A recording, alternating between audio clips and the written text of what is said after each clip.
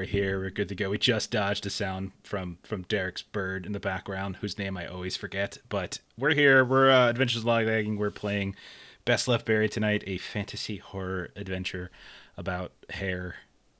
That yeah, that that's that's the summary. Uh, let's see. We play a bunch of different games on the internet on different days. Uh, we play a lot of free league games Mondays. We play like uh, Alien and Vaesen and stuff, and then we also play a little Mutant Year Zero and other things on the weekend. So. Um, this is going to be a part two of a small adventure that might be we might finish it tonight, and it might take one more adventure. It sort of depends upon all y'all. Uh, so could end up being a three-parter. We'll see how it goes.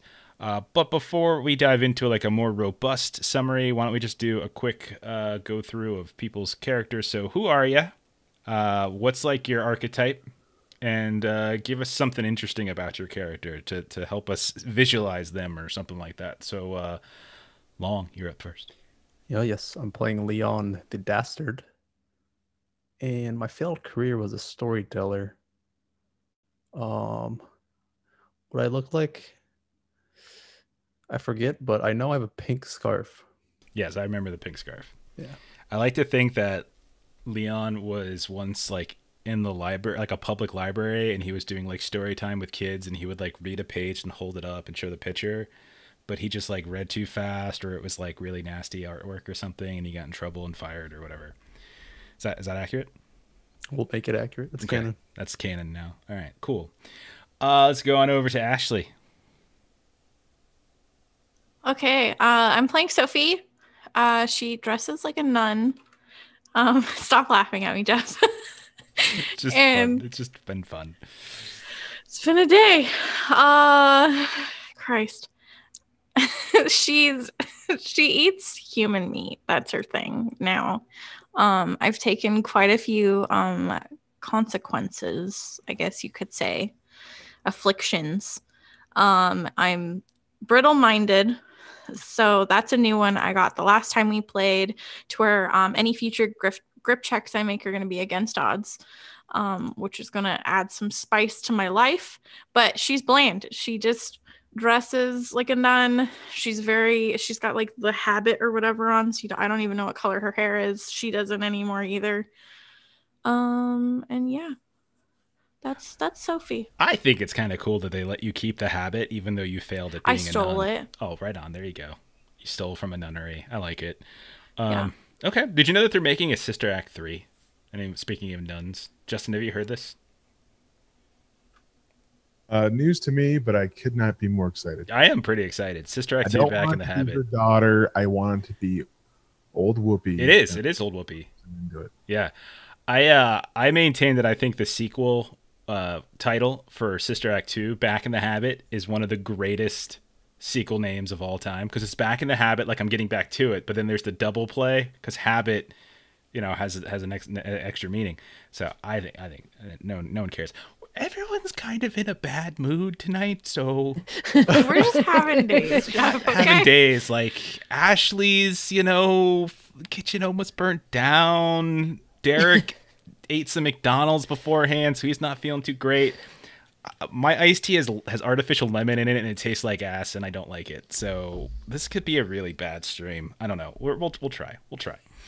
Uh, we'll but, just get creative. You know, it'll we'll, be fine. It'll be great. We'll just we'll just murder everything. It'll be great. Just take our take our vengeance out on the various NPCs and shit we come across. Uh, let's go to the bottom row. Uh, Derek, who are you playing? So I am playing Hohrion. Uh, I am an outcast. Uh, used to be a knight uh, for the king, but had some uh, had some stuff thrown on me, and so they kicked me out. used to be a tallyman, kept records.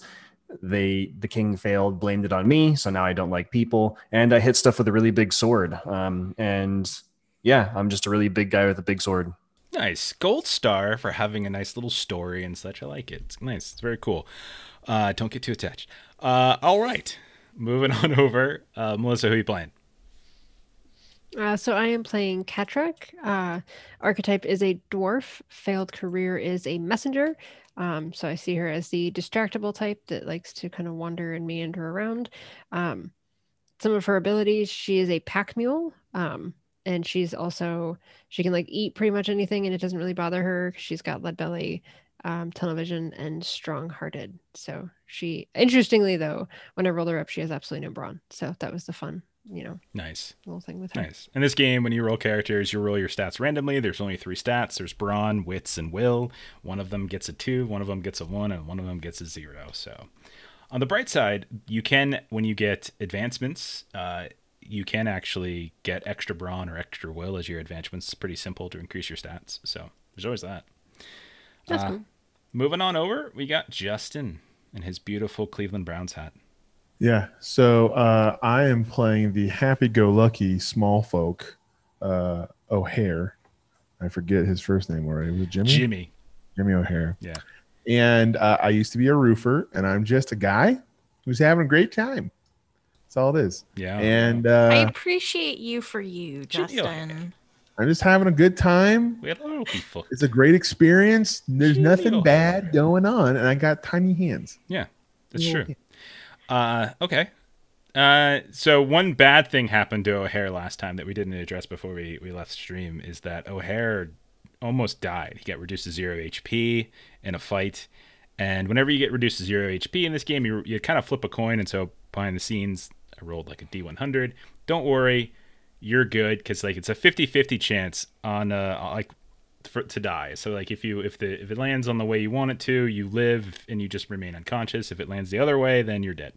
Uh, so it you got that, but it also meant that you had to draw a a, a couple consequences. One of them was an injury, and one of them was an affliction. On the bright side, you're you, you got you got off the you, you kind of got off scot free with the injury because you got the no effect injury, so you dodged that. But you did, in fact, take an affliction. Uh, long for the road. Have you have have you read through this yet? This long for the road uh, affliction. No. Okay, so in this game there are a couple different kinds of afflictions. There's um, and one of them is called a character flaw. A character flaw is really just there to help help kind of dictate role play to some degree or help kind of flavor it, and it's a way for you to start like tweaking or changing the way your character plays.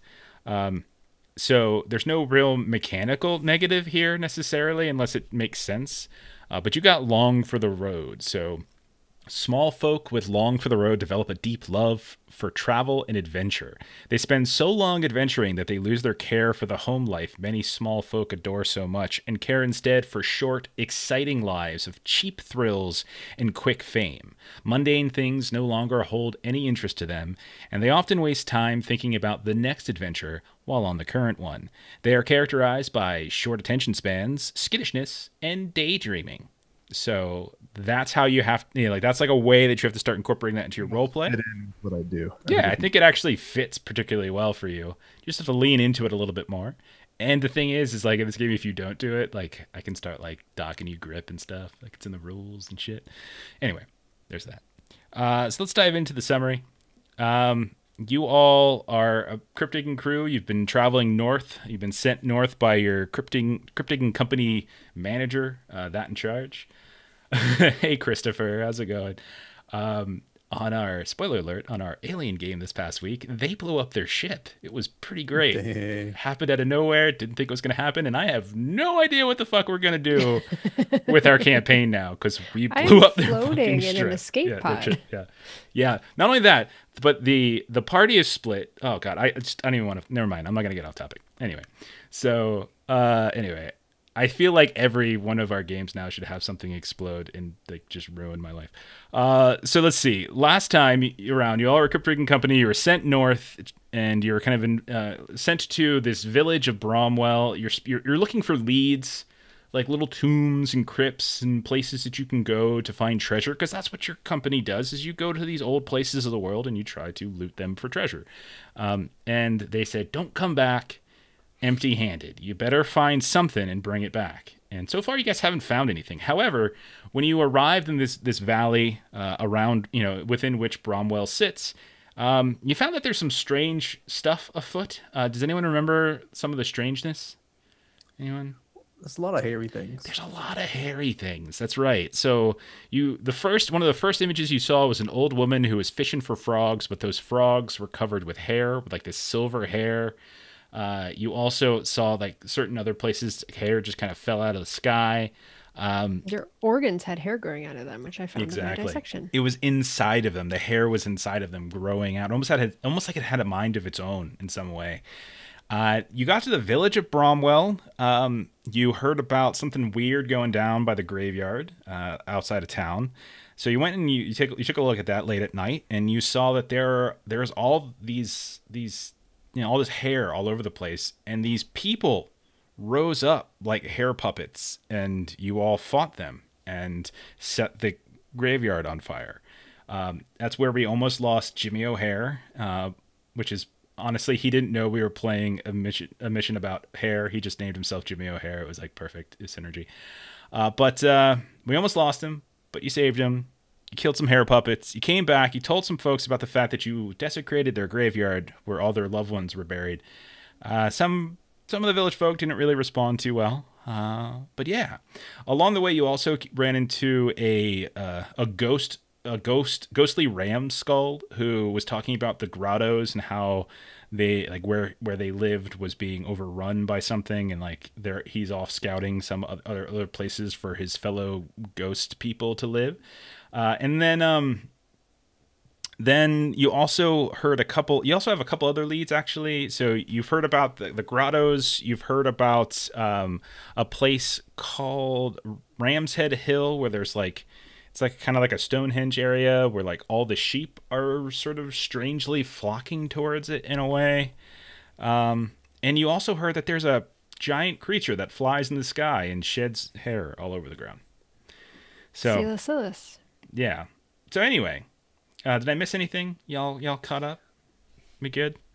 hmm All right. So let's go ahead. and O'Hare wasn't feeling too well. He's been coughing a lot lately. That is true. He woke up this morning uh, after you had stayed the night uh, in the stables. I think you were. I can't remember, but uh, you woke up and he coughed up a fur ball, which I think he tucked away and put in his bag. Uh, but okay. Um, you also like investigated like this temple area. There was a man there with a baby who was getting drunk, and then you told him about like how you how like he said his wife has recently died. Then then you said you set the graveyard on fire. Then he ran away really quickly. Good times. Um, so let's, let's let's start up. You have a you have a couple places to go. We're doing like a hex crawl. If you all haven't, if you all forgot about this, I'll switch us over for a moment here. Um, but we are currently still in the village of Bromwell right now, where that blue flag.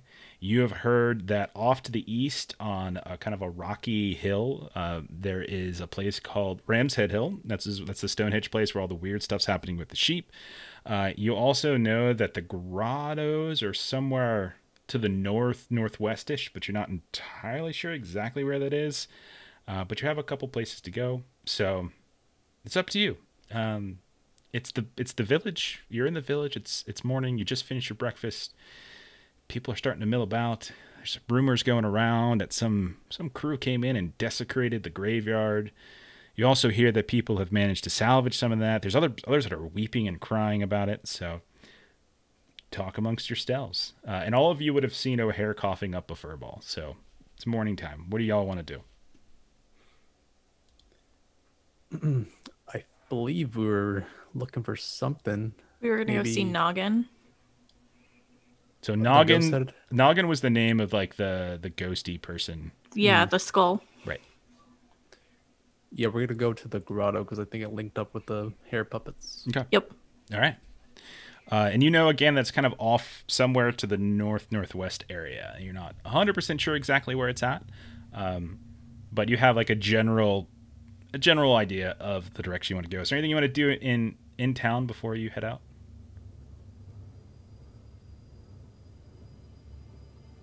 No. I can't think of anything. Okay. Do we need? Uh, we're not able to like buy items, right? Yeah, you have. I mean, you. I would, I would say you. You all, all of you who participated in the last one would have some money, uh, where you could buy some some basics. Uh, O'Hare wasn't there for the last for our last adventure, but we're not playing some big campaign. But you did get you did get rewarded with some some cash. So if there's something basic that you're looking for, we can do that. Is there something you have in mind that you're looking to buy? Uh, I was going to see if I could buy uh, uh, the it was an armor, the um, plate armor. I wasn't sure if. I could trade that with trade in my basic armor, whatever money we had, and then potentially like some equipment that I don't use. Okay. Um, so there is. I mean, if you recall, Bromwell is a fairly rundown, uh, dilapidated right. place, but there is a blacksmith. Um, so you you head on over and you hear the ting ting as they're mostly working on tools and things. You don't really see um, like you know this whole array of weapons, but there are some here and there. Um, why don't you go ahead uh, and roll kind of a will check just to see uh, how you hit it off with this uh, uh, with this individual as they come come out there. They're big, heavy set dude, big old arms, hairy, hairy arms, but like you know normally hairy. Uh, but he's got the All right. sleeves rolled up, big old apron. Um, I have to roll against the odds when I make a wits check to interact with an NPC Okay, go for it. because I'm not not a people person. No worries. Okay. Wow. um, even with the against the odds, uh, something about the cut of your jib. Maybe you just look like a, a rough cut kind of individual, and they do too. A guy. Oh, thank you, Chrissy, for them bits.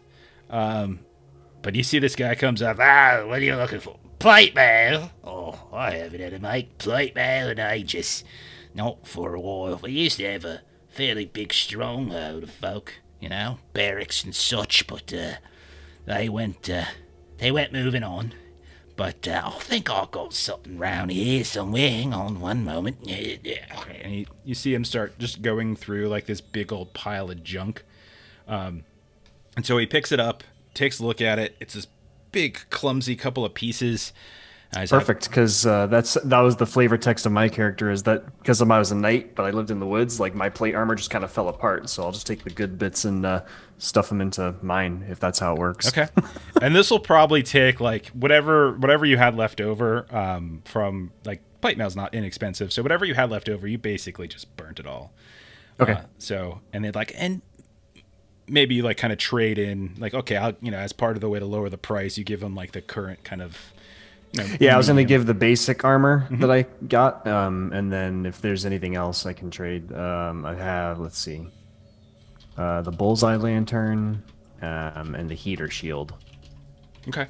Uh, so I would say, yeah, I mean, I would say you can you can trade in your basic armor, and they'd probably be okay with that. And between what, because you all collected a bunch of crystals and such, and probably sold that stuff pretty um, pretty well in our last adventure. So you would probably have a, a little bit of coin left over that you can probably make this purchase, no problem. Cool. Okay. Anybody else Uh, doing anything in town? Khatrak would actually like to look for a um there's a book of history Okay. That I see in the items. Um so I'm looking to um find some book of history or folklore and just see if there's any type of stories having to do with hair and just this kind of predicament that we find ourselves in. You there's any- have the book of history, or you're trying to acquire a book. trying of to acquire. Okay, same thing. Roll basic witch check here, just to see as you ask around. Now, you don't really see a grandiose library anywhere, um, but Eleven. While you're getting your breakfast in the morning at the uh, at the inn, you do uh, you do manage to talk uh, or overhear that there's something of a scholar in the area, kind of retired. You hunt them down. You, kill them and you take all their stuff. No, you hunt. you you find them. You go talk to them a bit.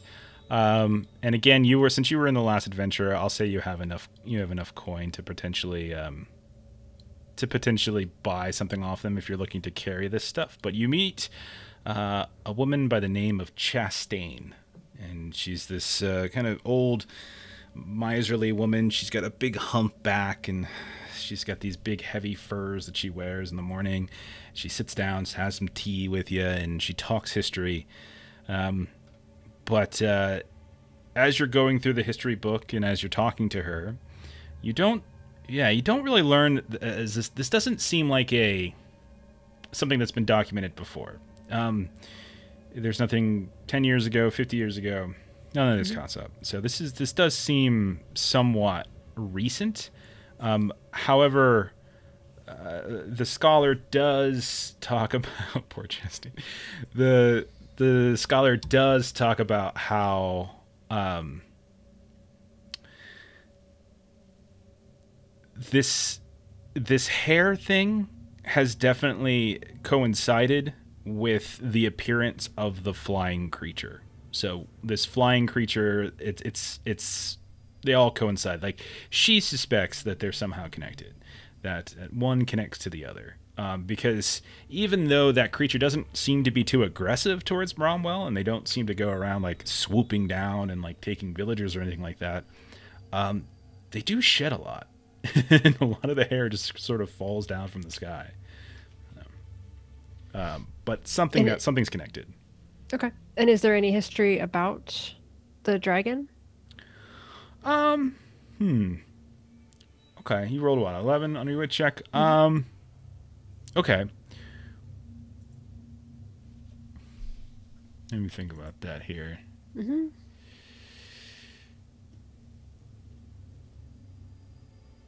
Okay. There's, I mean, there's history of dragons. So you get your kind of basic history, and so effectively, like the lesson that you're kind of impart, it's imparted to you is that when gods kind of dabble around in creation, right? When they break the laws of heaven, or when they try to like create things outside of like the norm or outside of like what's accepted, or they push the boundaries of creation. That's how dragons have been born, and um, dragons have a f- uh, they're a fairly obstinate creature as a result.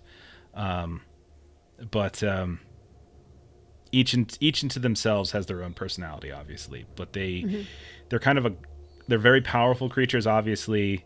Um, godly some might even say cursed in some fashion. Okay. I will thank her for her time and her chat. you got it dude she gives you a thumbs up as you walk out Okay. uh, yeah, dragon headed, not pig headed. That's a good idea. All right. Uh, anybody else doing anything before they want to take off uh, and go exploring? No, I'm ready. Anybody else? Just I'm ready for adventure all the time. Out of here. okay. Uh, so you guys are headed west, right? Like northwestish. Yeah. Yeah, let me roll. All right, so these hexes takes they're not too far. This isn't like a, a huge valley, but it might take about an hour or so to cross. But um, you you swoop down the ridge, if you recall. Uh, Bromwell is on a bit of a ridge, and then there's a small kind of swale. Uh, the graveyard is is built, you know, within it to some degree. But you also remember that when you were at the graveyard, you saw that there were trees and stuff in the distance, and you're kind of heading in that direction. Uh, let me just do a quick roll. Um, the weather for the day has been a little overcast, a little cloudy, uh, a little cold in some in some cases. Uh, but you start moving through uh, what looks like a, a small forest. Uh, the trees are kind of scattered and withered. Um, there's some distance. It's not a it's not a very dense forest. There's a lot of separation between them. You see these fairly large, what might be oak trees. Um, as you're as you're moving about, you notice that um, they they have got a peculiar look to them because like all of them almost look like they're just decorated in tinsel. You see like these little things like these this this colorful like silvery white droopings uh, on various branches. Um, and I think at this point you would probably be suspicious of that, and you would look up and you realize it just looks like these huge swaths of hair uh, that are are mixed up within the branches themselves. Um, after about a good half an hour walk through the forest itself, you you hear the sounds of voices. Uh, you hear the sounds of, of almost like almost like a hammer being smacked and some cursing and such, and then you hear a thump, thump, as if somebody is, is is sort of shooting, and you look as you start to emerge from around this this boulder and this this small vegetation, you can see that there's this cart that's sitting off near a, a tree stump that's covered in, in mushrooms. The stump that is, and it's kind of broken. looks like there's some sort of uh, some sort of problem with the cart itself. You've got two folks that are hammering away, looking like they're trying to fix it. And you can see that the cart from this distance is, is kind of it's filled um, with you think it, it looks like more hair maybe you're not sure it's, it's hard to see Uh, but you also notice that there's like several others that are lingering about this large tree, some of which are like eating food, others are shooting uh, crossbow quarrels right into the uh, the trunk of the tree. Um, you have heard some rumors about poachers and such in the area, uh, but as of right now, they haven't seen you yet. Uh, but you see this group. What would you like to do? How were the poachers a problem? Uh, you know that I mean, poachers, poaching in general is disapproved of, uh, but uh, you know that they've been stealing stuff. Like this, this whole valley is known for like its most its most well-known industry is it's like sheep herding and, and kind of wool production and such. And apparently, there has been a rash of uh, of poachers lately that have been coming in and kind of stealing whole chunks of uh, of flocks of sheep, and also um, kind of just like shearing away wool uh, and taking it in the night and stuff.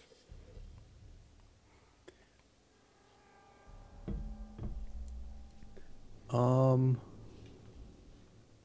I don't think we need to be hostile towards them.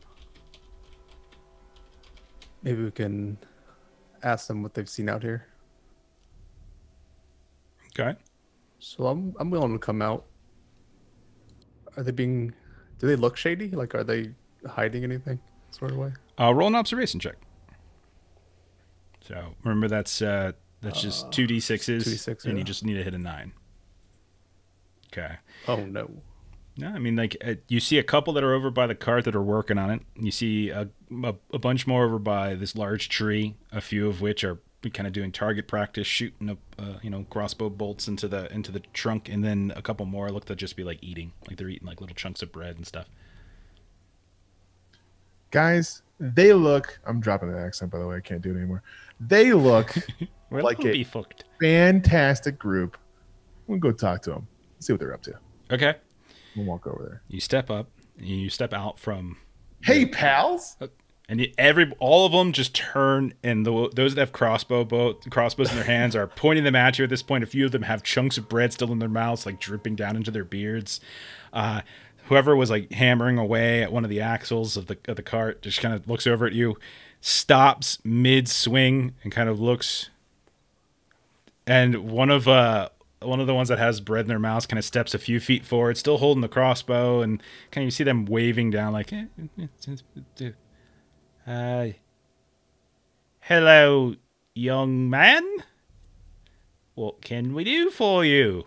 fellow adventurers, how are you doing this afternoon? Um, what are we up to today? What's so what's uh, what's on the uh, what's on the menu? How's it going? We are repairing our uh, vehicle here. Had a bit of a problem, and and we'll be on our way. They're all kind of like exchanging confused looks, and you can see some people are a little like you can tell some of them are just just looking to unload on you right now. Others are just like, eh, hang on, hang on.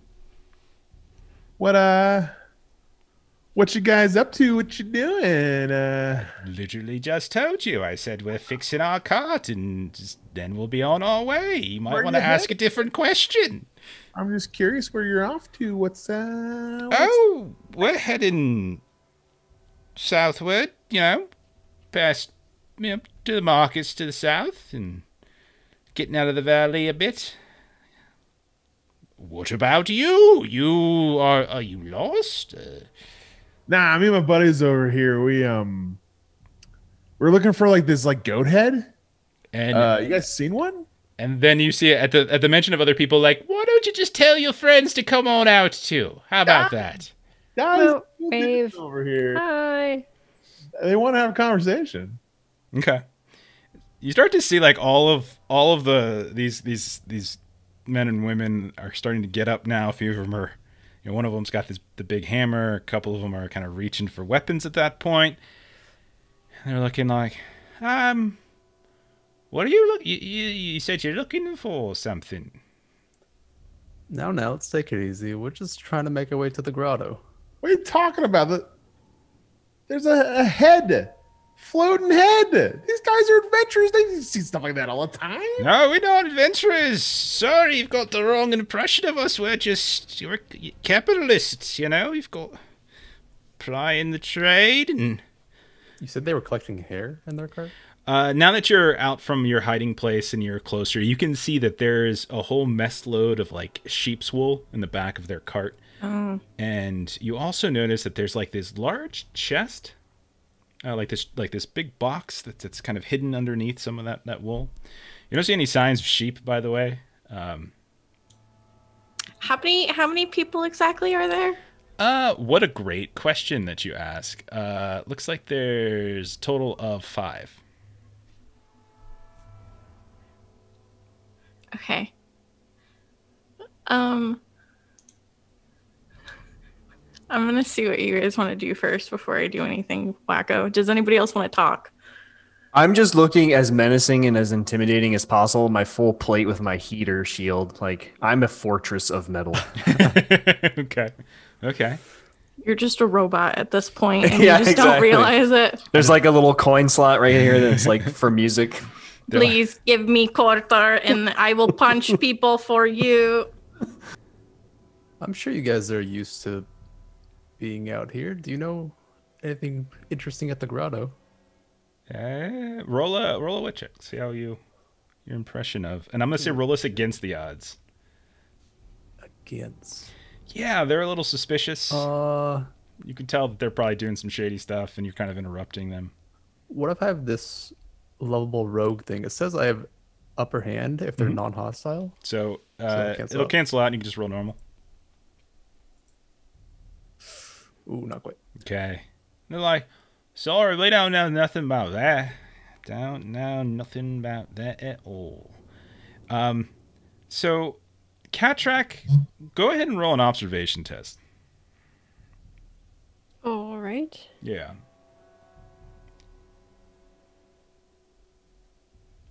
Okay. Khatrak, That's you, a 10. you notice uh, when you're looking over where they're, you know, there are a couple of them are hanging out, like where the couple bolts have been shot into the tree trunk.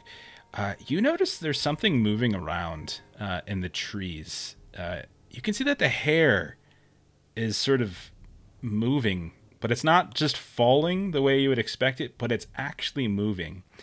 And then, as everyone's talking and exchanging, you can no- you notice that a whole long, very tight braid, like thick, just unfurls hanging down from the branch itself and begins to wrap very quietly and carefully, like it's not even being noticed, around one of the men that's holding a a crossbow at you, and then you can see right as it's right as the guy notices, he looks and he's like, "What the fuck?" It squeezes, and this like snake-like head pops up, and it's all made of hair. Uh, and immediately they all kind of turn around like, "What the fuck?" Uh, so everyone, go ahead and roll a grip check first. As you see a massive python of hair beginning to curl down from uh, from the trees. Um, okay. Yeah, five.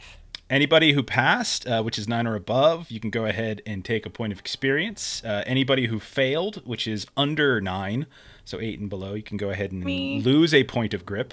Okay. Okay. Can Uh, you take like at any time you can take a thing to get more grip?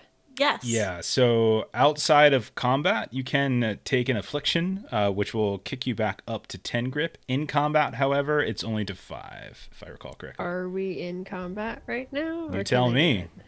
Uh, we're about to be. It's up to you. You guys are a good twenty feet from this tree or so, where this this this python has now wrapped itself around one of them. Two of the guys who are standing next to you have just like fired the crossbow quarrels right into the the thick braided this massive like dreadlock of that's been wrapped around this guy, and this strange head is now up, and it's looking like it's it's like about to reach down onto the head of this poor man who's being being squeezed. Uh, I'm going to use my uh, true grit ability because I failed my grip check, so I will not lose grip. Okay, fair enough. Okay, but you also I don't you don't some get the. XP though for it because it's you didn't pass the test. Well, actually, I've been misreading it the first two times. It says the first uh, the first time each adventuring day an outcast would lose grip due to a grip check, um, they can ignore it. So Yeah. I guess it's like a free roll. Uh, no, I think what it means is you don't lose the grip, but you don't get credit for passing a grip check. You actually need to pass the grip check to get the XP credit. So Right. So I rolled Yeah. a seven, and that's why I was using it. Uh, That's Right. how I was interpreting Yeah, it, yeah. at least. Yeah, I interpret it as like you're you're good. You don't lose your grip, but you also don't gain the XP. So Right. that's where I'm at. Okay, you guys tell me what are you doing at this point? Like, there's a little bit of chaos now going with them. Uh, you can see the one that had the hammer has now kind of is starting to run to, to go help, and this, and you start to realize this this this creature, whatever this this long snake thing of hair is, is is quite massive as as stuff's moving about a bit, and there's all sorts of other uh, other branches where movement is now happening. This thing's got to be 20, 30 feet long, starting to sw- you know kind of curve its way down the tree. What are you all doing? I'll rush into a system.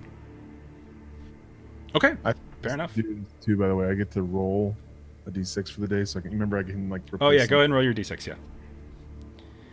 So uh, someone Okay, so someone gets a three. Okay. All right. So, uh, so Leon, you said you're rolling in. Uh, grip, uh, Betty, grip's um, it's like a fear test or something like that. It's like how you're handling like crazy stuff that happens. Like Ashley said, like if it's really scary or uh, like unexplainable. In this case, it's a giant python made of hair. Sometimes you roll a grip check for that, you know, and see if if you're handling it okay. Grip is is sort of like your it's like your your kind of grip on reality, sanity. If your grip ever goes to zero, like you either die of shock right then and there, like a heart attack, or you just like run into the hills screaming crazily, never to be seen again. Um, okay, so you're running in, Leon. Uh, what are you doing? Uh, running up to this python, just I'll hack at it. Okay, so go ahead and you can move up. That's fine, and then go ahead and roll uh, your test. Uh, with whatever I don't know what kind of weapon you have. Uh, it's a scimitar, so it's a wit. Here, let me get us a map too. See what Nice I got. good. Shall we roll initiative? Yeah, that's uh, no. I, I- I'm actually just gonna say let's use popcorn initiative. Uh, I like that so much better. We've been using that in a lot of our games, so Okay. I'm giving, I'm giving uh, Leon credit. So popcorn initiative, what this basically does, uh, as we switch over, let's activate that. Um, hang on one second. So popcorn initiative, what it basically means is like whoever goes, um, whoever goes, like once they're done, they identify who goes next. So in this case, once uh, once Leon's done, he can identify who goes next. Once that's determined, uh, like it just you just kind of keep picking people, but you can never go twice. Like Leon can't go and pick Hohrion, and then Hohrion can be like, "All right, now Leon goes again." Like it doesn't really work that way. Um, but it also means you have to pick like the enemies and the other NPCs and stuff. I'll treat all the all the like the the poachers here as like one big grouping. Um, and then the last person to go, NPC Goes first, right? not only that, they go twice in a row. So they finish the round and then they go again on the on the next Yeah. round. So you, it's all about kind of strategizing. So Leon, you run up. Interesting. You're starting. You're, I'm saying you're starting initiative. So Leon, you're running up. Um, you roll your check. Yeah, it was a nine, so it's pass. Okay. Uh, roll your damage. Uh, actually, I'm sorry. That's Oh, a that's fail. not- That's a Oh, fail. It's Wait, uh, how, how does this work again? I forgot. I didn't roll it correctly. all right. So I'll say three d six. three d sixes. Yeah, I did one more. Oh, Okay. That's So still fail. you need to hit the. I can't hit it. Okay. All right. Uh, so you miss. Uh, Hmm. Who do you want to go next? Let this snake go. You want the snake to go next. Okay. Uh, so the snake is going to. Uh, you're going to see it just continue to tighten, and the one guy that it's around, uh, I'll ping that guy right there, is the one he's sort of being swallowed up. I'm using a bone naga here, even though it's a really long thing of, of hair. Uh, it's just squeezing. And then I'm going to roll a d6 to see which one of these I lash out at. If it's a one or two, it's going to lash out with its head at you. Otherwise, it'll attack one of the NPCs that are around it. Do we hear bone snapping from the squeezed guy yet? Yeah, you do hear. Definitely. Uh, I rolled a six. Sorry, that was a. I, I didn't mean to leave it on private, but I rolled a six, which means it's going to go ahead and it's going to attack um, one of these uh, one of these other guys. Um, let me check really quick, see what else this one gets. This is the Python. Yeah, this you needed to hit a ten, by the way. The AC is on is ten for this one. Mm. Um, so its bites gain plus one on damage. Okay, so he's gonna reach out and he's gonna snap out at one of the other ones that are starting to surround him. Uh, so I roll 3d6. So if you're new to this game, attacking, you roll 3d6s. You take two of those d6s, you add them to whatever stat, like whether it's if it's a brawn attack or something like that. And if you can hit the AC of whoever you're targeting, then yay, it's a hit. And then the unused d6 is your damage. Uh, and so in this case, I can make um, a 3 plus 3 plus another 3 is 9, which is enough to hit it. So I crit uh, the one that I'm going to attack, the poacher to the south, uh, which means I will roll an injury uh, for him. Let's see how this goes. Uh, all right. So as this creature is is squeezing the one man, snaps out with this this strange head that's made of, of tightly wound hair, and just gets the uh, the other one right in the head, and just kind of you hear a little twist and a crack, Leon, and this uh, this other this this guy right here just goes and falls to the ground. Okay. Uh, and so then they'll pick somebody else to go. So I'll pick uh, I'll pick Hohrion. Um. Yeah. So that was that. That was the the uh, the big creature's turn. And so Hohrion, you can go next. Um. so even though Hohrion's an outcast and isn't a people person, he knows a poacher when he sees one, and he's still got those knightly tendencies in him. So I don't know if I'm going to help them fight the snake. I might just stand back and watch on my turn. Okay. Um, They actually, have that cool chest. yeah, I could go and mess with that, but there's two guys next to it. Um, I, if I were to stand next to Leon, would I be able to provide him some kind of like bonus to his armor if I put like the shield next to him, so at least he's protected? Um, I'll probably give him like um, you know, I might make it like against the odds if somebody attacks him. That's, Okay, that's yeah. probably the best I would do. Yeah. That's fine. I'll do that then. Like I'll keep an eye on Leon, but Okay. I'm not interested in helping poachers.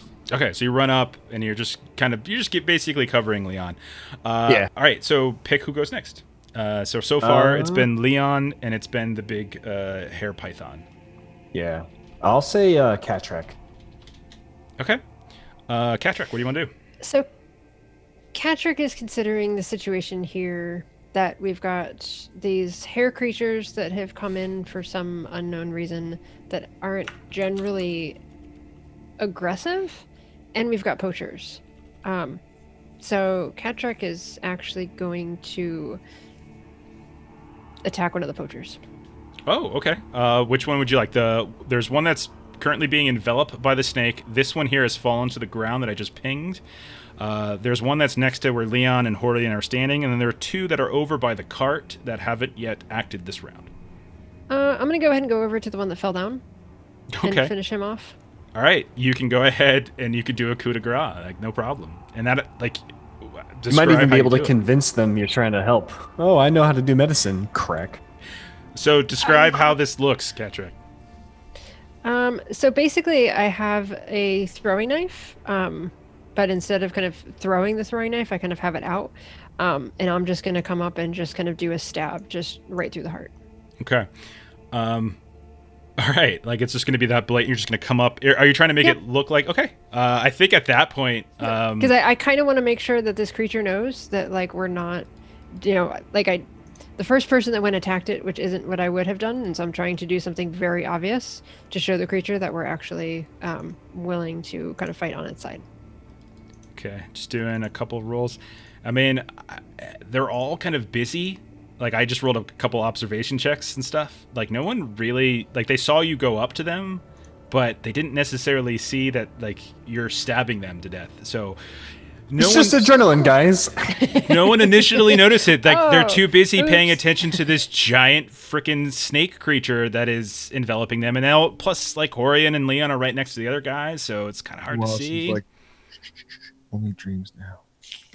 oh, thanks for those bits, Captain Carrion. Uh, I think what we'll do with bits, um, 100 bits, uh, you can go ahead and someone if someone wants to take it, you can just do a reroll. Like we'll treat it like exertion in this game. Don't forget you can burn grip to do exertion and do like and reroll a die. So go ahead and if any whenever everybody whenever anybody wants to use it, you can go ahead and I'll keep track of them. Right now we got one, but you're welcome to do it. Um, so that was Khatrak. Who's going next? Uh, I'm going to say Sophie. Cool. Uh, thank you for providing me with a body. Uh, I would like to reanimate it, Jeff. Oh my goodness. Okay.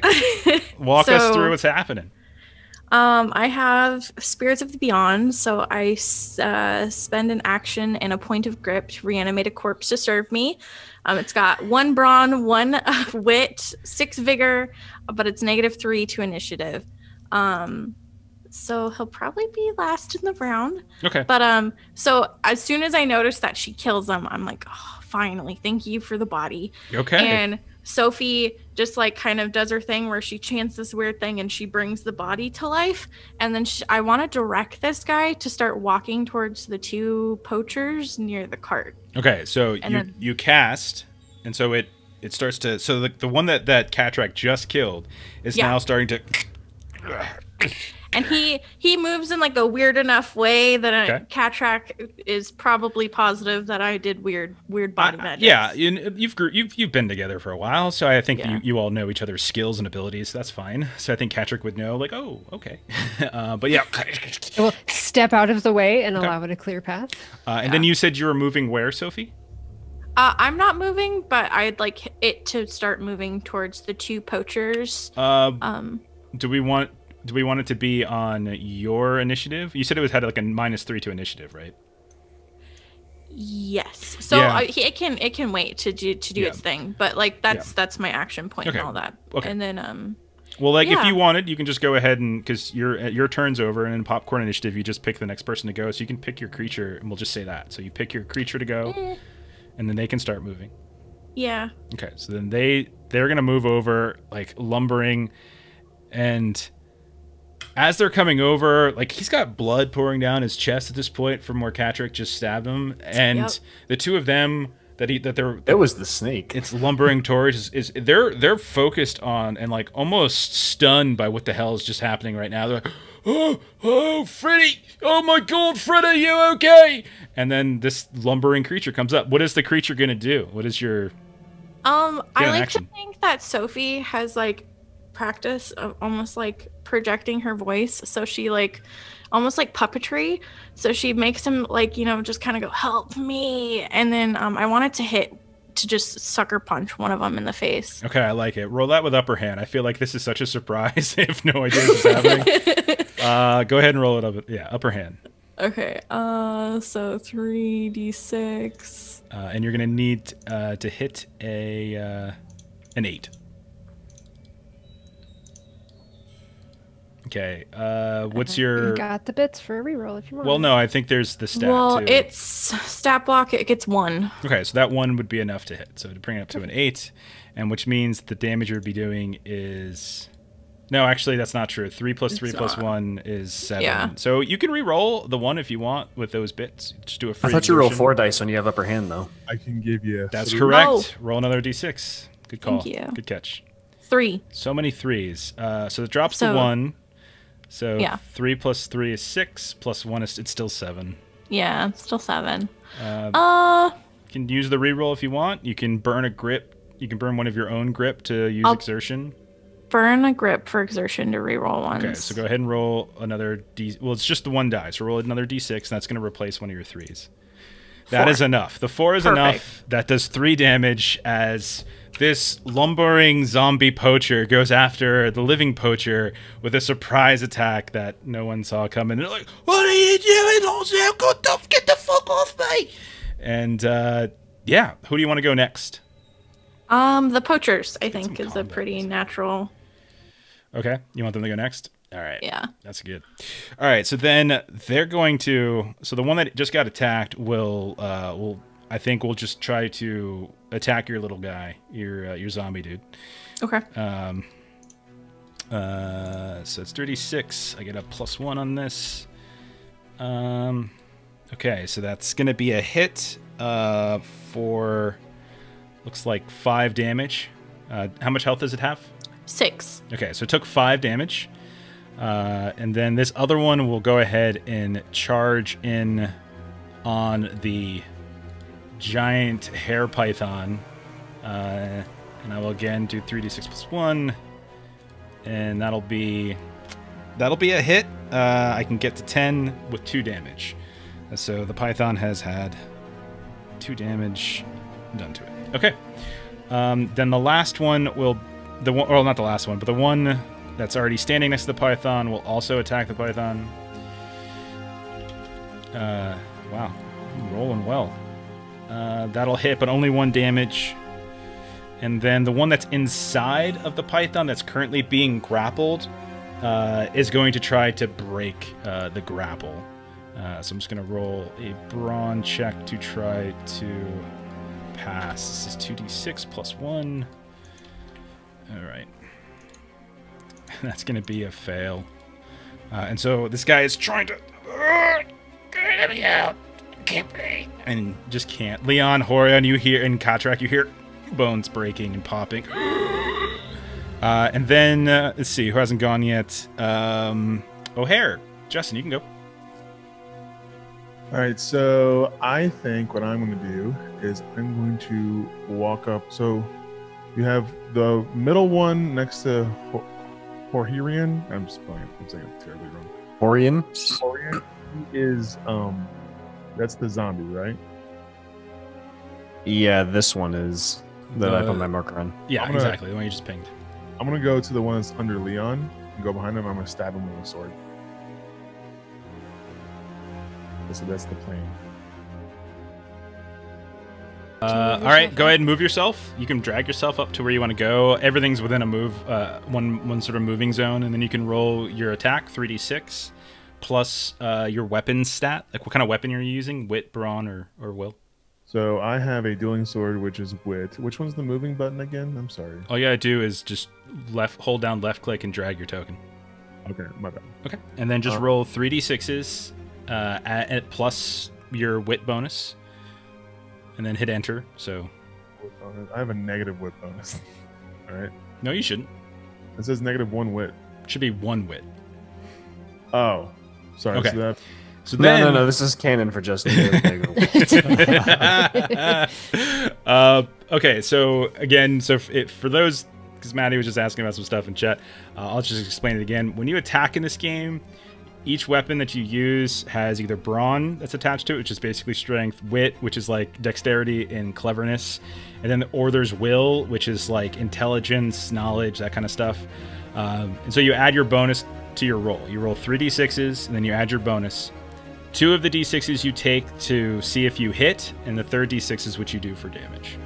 Uh, in this case, Justin, you rolled four plus two plus your one. The max you could do is seven, uh, which is not enough to hit, so you missed. all right. I'm like, I'm having fun. And I completely. Okay. Uh, so then the only person who hasn't gone, I think, I think Everybody. everybody's gone now. So you get to go again. twice. Yep. Yeah. All right. I'm gonna try it again. I'm gonna aim at his leg. Okay. And, uh, All right. Go for it. So same deal. That'll be three d sixes. Plus, I have one wit, so just plus one. It's literally the same thing you just rolled. Yeah, I screwed. Okay, that looks good. Uh, so let's see. Click the little detail button. You can expand the roll. Uh, so it looks like you can go six plus two. You take the six and the two that you rolled for to hit, and then you can do three damage. So you come up and you do three damage to this guy uh, sitting in front of you, and he's like, oh, "What the fuck is the fucking button? What's wrong with you?" I'm Uh, like, adventure, and I just you crazy man. Uh, all right, so who do you want to go next? Anybody you could pick, except for yourself. um, we'll go with the snake. Okay. The snake will go next. There's a bunch of people that are within range at this point. Um, they're going to go, let's see, one, two, three, four. I got five different choices. Um, so I'm going to roll a d5. If I roll a one to three, it's going to be one of you folks. Uh, otherwise, it'll be one of the other ones. Uh, it is going to be uh, one of you three. So uh, it's going to be. Uh, looking at the screen, one, two, three. It's gonna lash out at Hohrion. Uh, actually, Ooh. because you're two. Because Leon is one, Hohrion two, Melissa three. That's what I saw. Uh, all right, so this is gonna be three d sixes plus. Uh, I think it was three. Let me double check. Yeah, three d six plus three, as it's going to lash out with its head snapping like a like a snake might. And uh, let's see what I do. Uh, so let's see. I can get to. Um, what's your AC? Uh, my armor's 10. 10. All right, I can get to a 10 uh, with uh, six plus my six and the two. You dodge the crit, but you do take four damage. So I had to use the six that I rolled to hit you, uh, but then you take four damage as this thing just you hold the shield up and it pushes right through the shield because this thing's got a ton of strength. Um, and I think it'll so it'll pick um, Hohrion. You can go next. Go ahead. Um, I think on that, what I'll do is I'll drop my shield to the ground, so then I lose that armor, and I'll take my great sword, and hmm, yeah, I don't want this snake to keep messing me up, so um, yeah, I'll just like pivot on my foot, take the momentum it hit me with, and just bring the uh, the sword down at it. Okay. All right. This is gonna be. Uh, you're gonna need a ten for this one. Yeah, and I was just checking. I want to check my advancements really quick. Okay. Yeah, I'll use um, my weapon master with heavy. So I'll p- spend a point of grip, um, so that I have upper hand, and then it's rolling my brawn because that's what the sword uses. Yeah, yeah, yeah. Correct. That. Yeah. Okay. All right. So you got your upper hand. Roll an extra d6. You're you're missing one. Oh right. Oh, d- I think it actually did it. I see three plus two in the details, unless I'm. All right. Um. Yeah, you needed to But roll for four. attacks, it's four. Yeah, it's a little different for for attacks because of the damage die. Uh, but in this case, it's gonna be a six and a three and a two, so you can do three damage to it. Yeah, you're not gonna be able to get the crit off, unfortunately, but you can you can get to eleven with your attack, which means you can do three damage, and which is what you'll do. Okay, so yeah, you hack away at this thing, and as you bring that heavy two-handed sword down onto it, this is hair, but this is incredibly tightly wound, compacted hair. You see a, a few hairs begin to fray, but you, I mean, it, it's almost like you're trying to chop through it through like a, a like a strong tree, like getting through bark. It's it's almost surprising, especially considering how flexible this snake has been coming down. Uh, who do you want to go next? Um. We'll have the uh, zombie go next. okay, fair enough. Uh, so the zombie will just gonna continue. Do you want it just to continue to attack the one, Yep, Sophie? he's just gonna keep punching that guy. So three d six. Okay, you got it. Oh, that's a good roll right there. Yeah, so he even without it, I had a ten. He's I gonna, do six damage, so that's a crit though, right? that- that's gonna kill the guy. Shoryuken. That kills the guy. Uh, so he is dead. Uh, So the zombie like reaches out and like bites the guy's throat out. okay. And like so if there's other people still alive, they hear the one guy yell as his friend takes him to the ground and starts ripping out his throat with his Yeah. mouth. Like they're looking. One of them sort of like like looking back. Like the one that's sort of fighting now. O'Hare stabbing in the back. He's looking over top of like the little small foot. Like, what the? F- why are you eating him? He's your cousin. And then yeah. Uh, who do you want to go next? Um me. Okay, perfect. Uh I would like Selfish, to. Yep. I would like to come over here. Um, and I base. Uh, Oh no.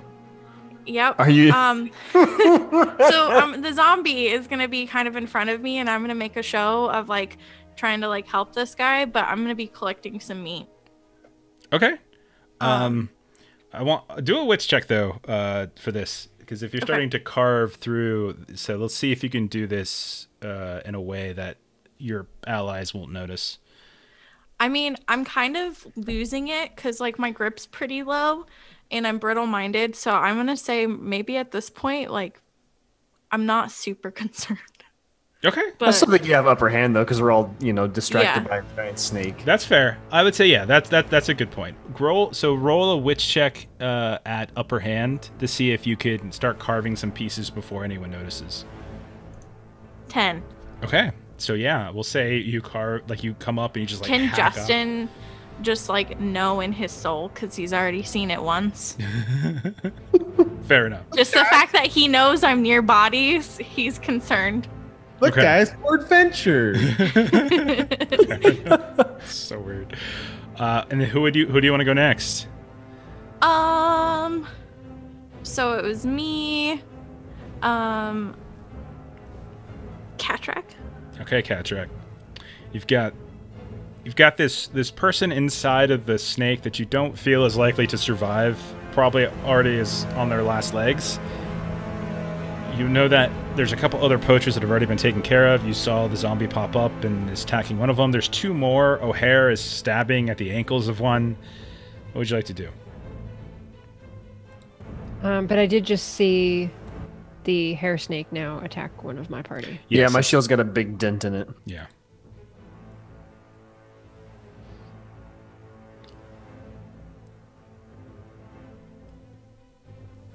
Sorry about that. Um, I think now that I need to defend uh, the party, um, I am going to um, pull up my longbow. Long bow. Mhm. I'm going to spend a point of grip um, for Radiant Blade. So the attack um, is made with upper hand and deals an extra d3 of damage that would be considered magical. Okay. Go ahead and roll your attack. You need to hit 10.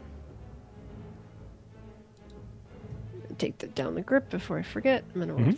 roll 4d6. And then I'm also going to have my That's a hell of a roll. wit. We drop the two. Okay. So drop the two that you rolled So because it's the I'm gonna have an extra two to use. I can get a crit then because I've got two on my wit and I've got a Yeah. four, five, and a six. So you do six damage, and I have to roll an injury for this uh, big old snake creature. Was Uh, the six damage adding that three, or is the three on top of that six? Uh, you don't add anything to your to your damage. Did your did your I put ability? the, the three on the attack. Oh, the three's on Yeah. the attack. Got you. Yeah, it's it's just a flat die that you roll. It loses. Oh, no, you're right. Sorry, the D3. I didn't roll the D3. Sorry, you're right. I did the upper hand. Um, the D3 is extra Yeah, from damage. Radiant Blade, right? Okay, roll a d3 then. So it's a crit plus a D3. Okay, and you've and the the crit actually does two extra damage. So so right now you're at eight, and with that is nine. So you just did nine points of damage to this thing. Oh, it's a mini Josh attack. and you can see that you manage to, when you when you shoot this this radiant arrow uh, at this this creature, Hohrion, you had just hacked through it with your sword, and it barely made it made any kind of headway through through like this this this twine. But the arrow just kind of goes through and through and it just sort of rips a small hole right through the middle of this this large dreadlock, basically.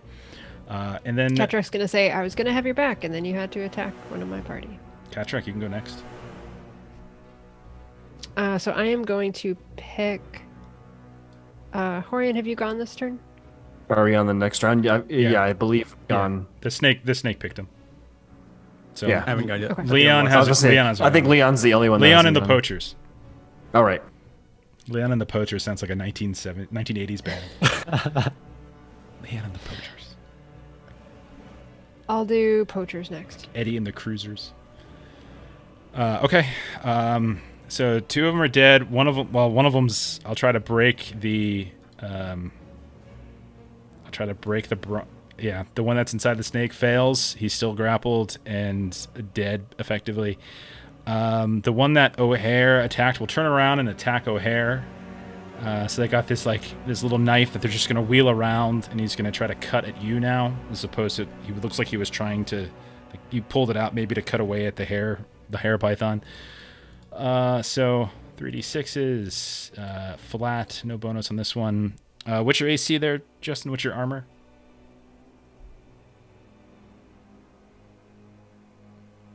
It is eight. Eight. I can hit an eight, and I can do two damage. So you take two points of damage. As he turns around and he just kind of cuts you right across the cheek a little bit, little blood, because you're pretty short, so it's hard for him to get anywhere else. So he kind of catches you right in the cheek. Uh, the other one, I think, is going to continue to attack. Isn't going to go after Leon or, or Hohrion yet, because neither of them have actually done anything wrong uh, yet, uh, aggressive. I think he's just going to still attack the uh, the big old creatures. This is 36 plus 1. And is ineff- ineffective attacks. Uh, so then, Leon, it's your turn. You get to go twice in a row. All right, I'm gonna gang up on this python here. Okay, Try to hack it down. go for it. Wow, that's a bad roll. Holy crap! Oh no. Yeah. You got any torches left? That's terrible. I do, but We also have the bits, and you might have some grip to spend. Uh, I think Ashley used the bits when she had No, all she those used her own grip for She that. used her own grip. Oh, right, right, Yeah. right. does that give me? Though just I don't know if the bits will help you for that. I'll say for the only- they're bits, so you can do a reroll. a full reroll? Yeah, I'll just say it. Well, I mean, Yeah. people gave All us right. Captain I Carrion gave it. us money. It's cool. Gave us bits. It's worth it. Nice. Really? Got the same roll. The future refused to change. oh my Oh, gosh! no. All right, I think you're getting an affliction for that. What the heck? What the hell is that? I'm just curious what I would have rolled. Okay, That is pretty debilitating dread. I'm gonna say that you uh, Now I have a fear of. you have a fear. Parasites. You have, you have a fear of snakes. You have a fear of snakes. As this thing turns around and like hisses at you, and you're like, "What the hell? How's this making sound?" But at the same time, it terrifies you. So yeah, you can go ahead. we and take- got more bits. Oh, thank you, Captain Carrion. uh, second turn, Leon. You can go again. Yes, Start a I'm gonna round. replay that again. Shards. Again. I'll take a look at that, man. I don't You think gonna I do know that better one. this time? Yeah, let's see if I get another five. Go for it. Jeez, you're moving up. Yikes! Nice. Uh, Not. in like two or three turns, you'll probably be okay. Who you want to go next? Just kill me. The snake can go. Okay. Snake can go. Okay. All right. So the snake will kill the one uh, that it has grappled, um, and then you will see it begin to climb back up uh, into, like, start to pull itself back up into the tree, bringing the limp body of this poacher with it. Um, I'm gonna go ahead and roll uh, a wits check first to see if I can do this in such a way as to avoid opportunity attacks. Um, it's an escape check. I fail. Uh, so, uh, if anybody wants to take a swing at this thing as it starts to climb back up into this fairly large tree with this limp body, you're welcome to do so. I would say, I would say Leon, uh, Hohrion, you you two can go ahead and do it if you like. Uh, you were doing range, so no. O'Hare, you were attacking the poacher, so I would say no. So Leon or Hohrion, you can go ahead and take a swing if you want. Yeah, I've been practicing my swings. See if I can. go for it. Those were just warm ups. Oh, Oh my, no. Oh my gosh. you're the worst. uh, just Yikes. don't invite me to pinata. we do have we There do we have more bits if you wanted to re-roll. Uh, Um, and then I have to it's your turn. roll.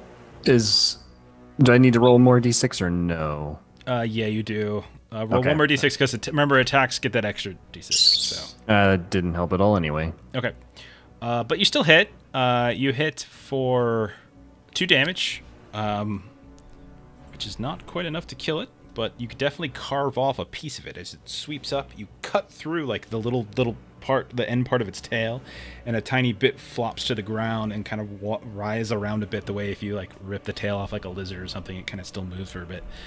Um, I think I'll have. Uh, let's see, Hohrion, you can go. So this thing is now climbed up into the tree and is is is we'll say you know 15 feet up into the up into the tree branches, uh, not easily accessible. It's up to you. There are still two other poachers who are nearby who are looking, uh, you know, in a horror, but they're also looking at you guys now as some of your party have been attacking them, and Yeah. I like to imagine that like right now Leon and I are like side to side. So what I'm gonna do is like spin around Leon and like just swinging my sword and I'll attack the one that's uh, north of us. So I'll Sounds attack good. this guy. Go for it. Thanks for them bits. Uh, that's good. Nine is good. Uh, roll your. Uh, let's see. You got three, four, and one. Were you were you in? Were you always rolling that? That's for the whole round for the whole combat, right? You get upper hand. Yes, uh, that is how this uh, Okay. once yeah once per combat. Okay. Uh, Roll an extra d6. Yeah, I keep forgetting about that. I, it's weird. I keep rolling my brawn at upper hand, but it doesn't do it. Because that's a brawn check. It's not an attack. I don't have separate attack Oh, programmed in. I don't know how to do it. Some of it gets too complicated. for me to Jesus, with these ones. Uh, okay, you need uh, an eight, uh, which you can Like a get. three. I can give him a three. You can take a three. Yeah. Oh, that's true. If I took it, let's see. If I took a three, then that would be three damage, right? Uh, if you took the three, that would be four damage because you can get to eight with two threes in your plus two, and then you could have the Ah, four. right. And that would be enough Yeah, to yeah, kill yeah. this guy. So how do you Yeah, yeah. describe your kill? Yeah, yeah. So, like I said, so we were stabbing at the snake, and I'm on like Leon's left side, and I literally just like pivot my body around him, like kind of going around his back, while just swinging my greatsword and just like cut right into the side of the guy. Basically like collapse his whole right side Yeah. with my sword. Well, not collapse, but you know, lacerate. Okay. So he falls down to the ground, and there's one poacher left now who's alive and is staring at you all like, What the fuck's wrong with you all? Uh, Hohrion, who's going next? I'm gonna say O'Hare. He's having a good old time down there. Okay. O'Hare. One there's one one person left at this point as the uh, as the snake has climbed back up and has taken one of the limp bodies of the poachers with them. Um, yeah, there's only one left. Actually, nope. The one right in front of you is actually the one that's left. The one that you've been attacking, the one that just turned around and cut you on the cheek. One left. What would you like to do? Well, clearly attack him, so that's what I'll do. I'll attack him with my uh, sword again. And I'll Give say you guys have got this guy narrowed down. It's just the one. Um, I'll say this is trivial, like because he's just he's completely surrounded, completely outnumbered. So it's gonna hit. Just roll two d sixes, and the higher d six is the damage you'll do. Awful. Awful. Okay, so as he's just staring at you, uh, two damage. How do you kill him, Justin? Where do you stab him to kill him? I go up to him, jump on his back, and I slice his head off with my with my sword, and pour his blood on my face, and say "Adventure." That's how he does. Yeah. You have an interesting character. Yeah. Okay. I think I need to roll a grip check here, but all right. Okay. Uh, and so at this point, everything's off unless you wanted to climb up the tree to face that No. python. What do y'all want to do? I want to check out that chest. Okay. Uh, you go over to it. You pull out, and it is wool, by the way, that's covering it. It's not extra hair, it's just wool. And you start digging through it. Um, and it looks like there's a whole, like, mess load of, like, looks like weapons, actually, but not, like, usable weapons. They're, like, made from. It's like more like display weapons of some kind.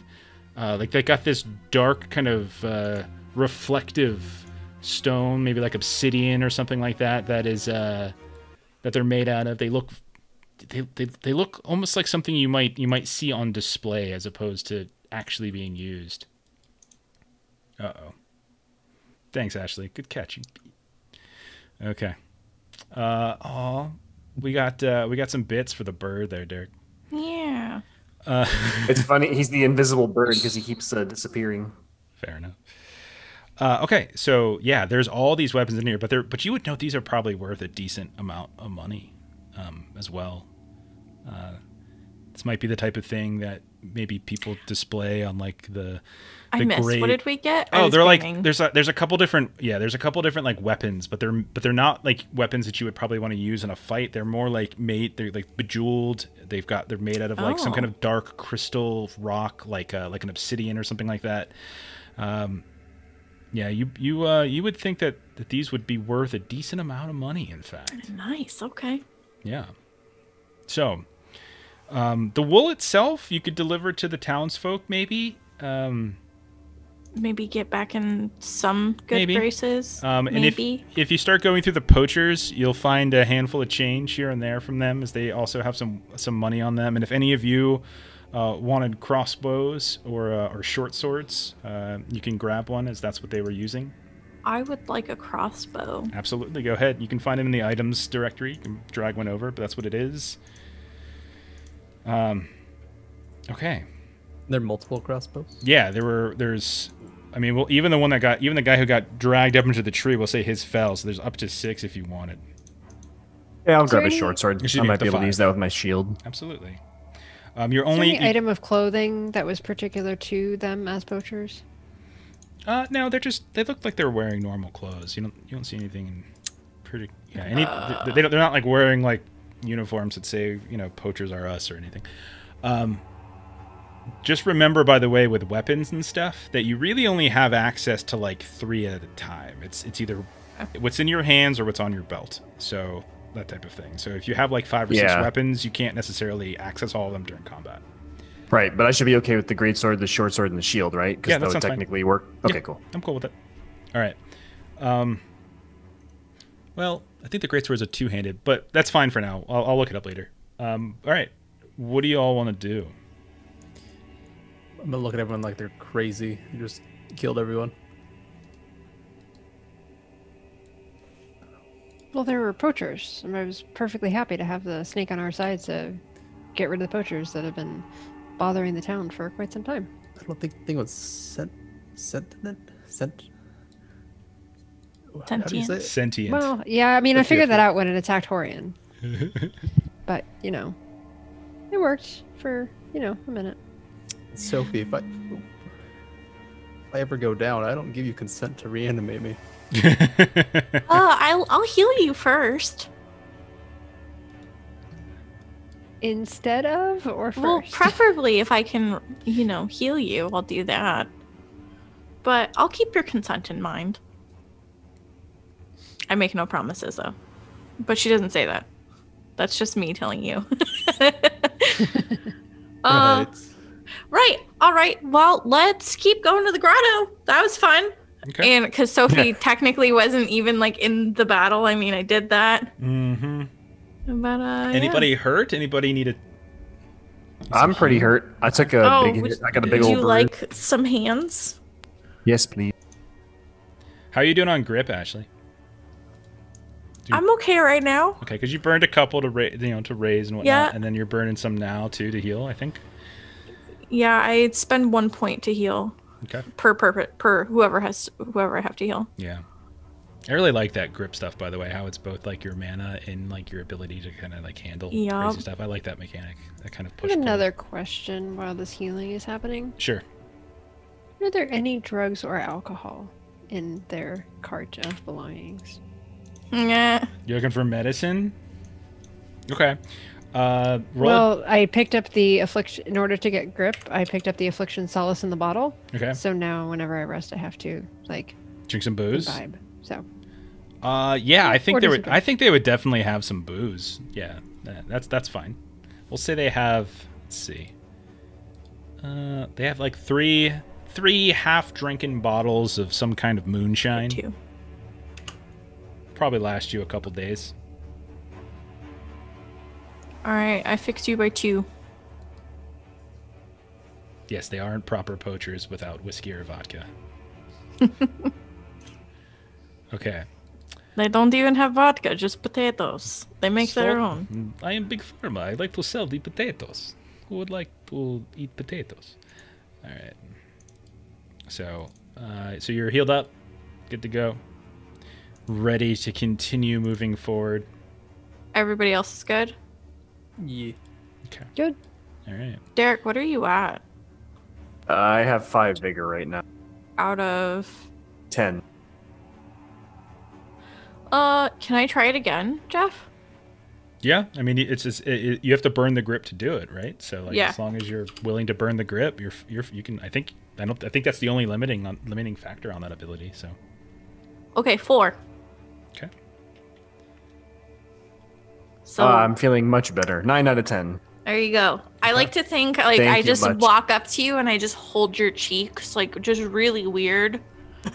And then as And I'm I just like- leave, I just like caress your skin. Yeah, and and like, like, and I'm "Uh, okay." staring at I'm staring at O'Hare as I do this. Like I heal you and I'm dead ass just staring at O'Hare. And I'm like, pretty cool. How everyone's just completely gone insane in this party. Weird. Um, everyone was so normal like just two sessions ago, uh, and now, well, I mean, you you're never normal, Ashley. You're always you're Thank you. you're always cutting things off people. Thank you for noticing. All right, so you continue heading westward, northwestward, looking for uh, something that might be considered grottos. You need to get to the edge of the forest that you were uh, you were just in. Uh, you notice the sort of the strangest thing as you see this whole like group of goats. There's like maybe ten goats that just go running past together, like they're like hopping from like rock to rock. You're getting into sort of a rockier hill type terrain. Um, you can see the mountains erupting up to the west, and you can see that they just are just like running at great speed, hopping from from boulder to boulder. Um, you also notice like on this fairly large flat uh, stone, there's something laying on it that it just they they just run right past it as if they weren't even paying attention to it. Like a body? It does look like a body, but it doesn't. Yeah, you're not. You get a little closer, and it, it's not human, not a human body, um, but it looks like an animal. Is it missing its head? Um, no, you see some horns.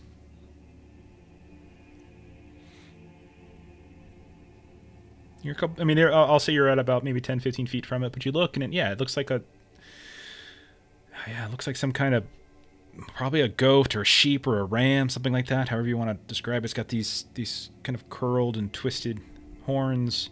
Looks like it's been cut open. Blood is kind of spilled out.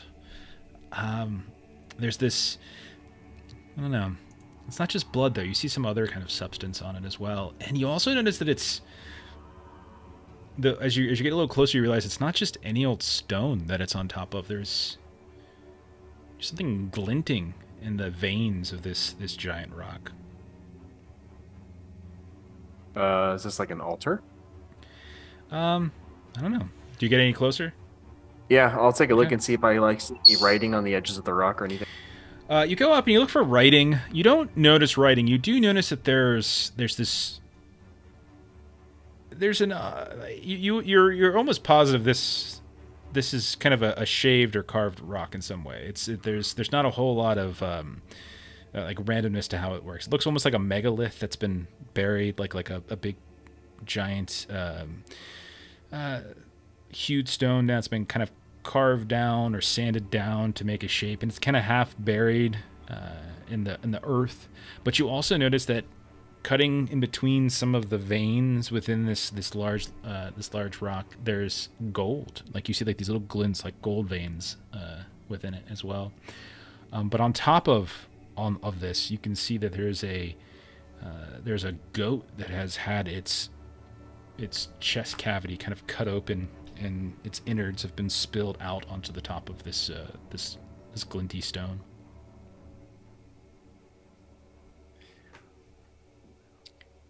Well, Does this it- seems valuable. I'll try to collect it by just shoveling it away, I guess, or hitting it with a shovel. You're trying to hit The goat what? or- the goat or the, The thing? ore? I thought you said it was a vein. Does anybody have like a pick or anything? That's what I got as a shovel. Um, I think a This shovel. looks valuable. Let me take the carcass. I don't think the shovel's going to help you in this situation uh, because it's a hard rock. Uh, but I'll say you can try, but it's meaning you're not going to get an upper hand or anything from it, but you can still try to like hack away at it. Sure, go ahead. Roll. Um, roll. I would say brawn. Oh, this is gonna suck. You can give me the shovel. I have a good Better than you were doing Oh, before. it's still got a You got okay. it. You still got it. You got it. Ashley, what's that roll for? Just rolled a random d3. Oh no, that was your heal. Uh, Was that the heal? Yeah, that was Okay. that was my heal. Okay. Uh, yeah, you do manage to to get a small chunk out of out of this large stone, and you pick it up, and it's like half, you know, basic rock, but like there's also these little particulates of gold in it. Um, if you would imagine if you had some proper mining equipment, you could probably hack away at this and get some more out of it. And you take a look at your shovel, and it's already just just a, the handful of times that you have hacked away at it. You can already see the shovel is is dulled down and bent. If you start to try to dig more away at this, you'll probably break the shovel. Um, but if you could find some mining equipment, come back here, you might be able to take another pass at it. But you do get a chunk of, of, of gold, so make sure you write that in your treasure. Um, Yeah. and so somebody also keep track of the obsidian weapons. Just say, uh, uh, you know, a batch of obsidian weapons. So Khatrak is now the party's resident dissector. So she wants to take a look at this goat that's on this. That's normally Stone me. I'm glad it's someone else this time. Okay. um, looking for hair in places that it doesn't belong, um, external, internal, run organs, things like that, um, or if anything else Okay. appears out of place. Uh, okay, well, you you don't notice any hair out of place. Obviously, it has goat hair, but you don't see any hair kind of growing out of its the internal organs, the intestines that have spilled out onto the stone. Um, but you do notice that there is some kind of green resin that's been um, smothered onto the to, to the goat in various places. Uh, can I do some sort of check to identify that green resin? Uh, roll a will test. See how smart you are. I'm smart. Twelve. I'm smart. Did you just do a Godfather? two, uh, did, what? Did you know you were doing a Godfather reference, or are you only doing that reference because you hear me say that all the time when I make? That's what I think it's the I second plead one. the fifth. I think it's the second one. I do it Control time. yourself, Jeffrey. It's okay. I'm smart. Uh, okay. Um, It's a twelve. yeah, you you you take a little dab of it on your on your finger on a blade, hold it up, and it whiffs back, and, and you realize that this is some kind of poison.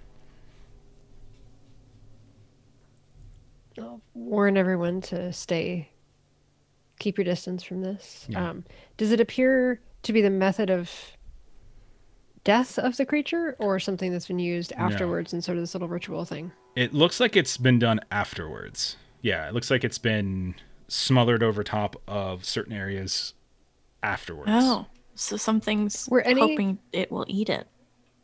Yeah, were any of the other animals that we saw eating this when we arrived? No, they were just they were. like- It's like they were chasing something, but none of you like went after them. And like now at this point, they're kind of out of out of, out of range. But they were like chasing Mm. something. Okay, All right. that's good for me. Okay. Other people, what do we want to do?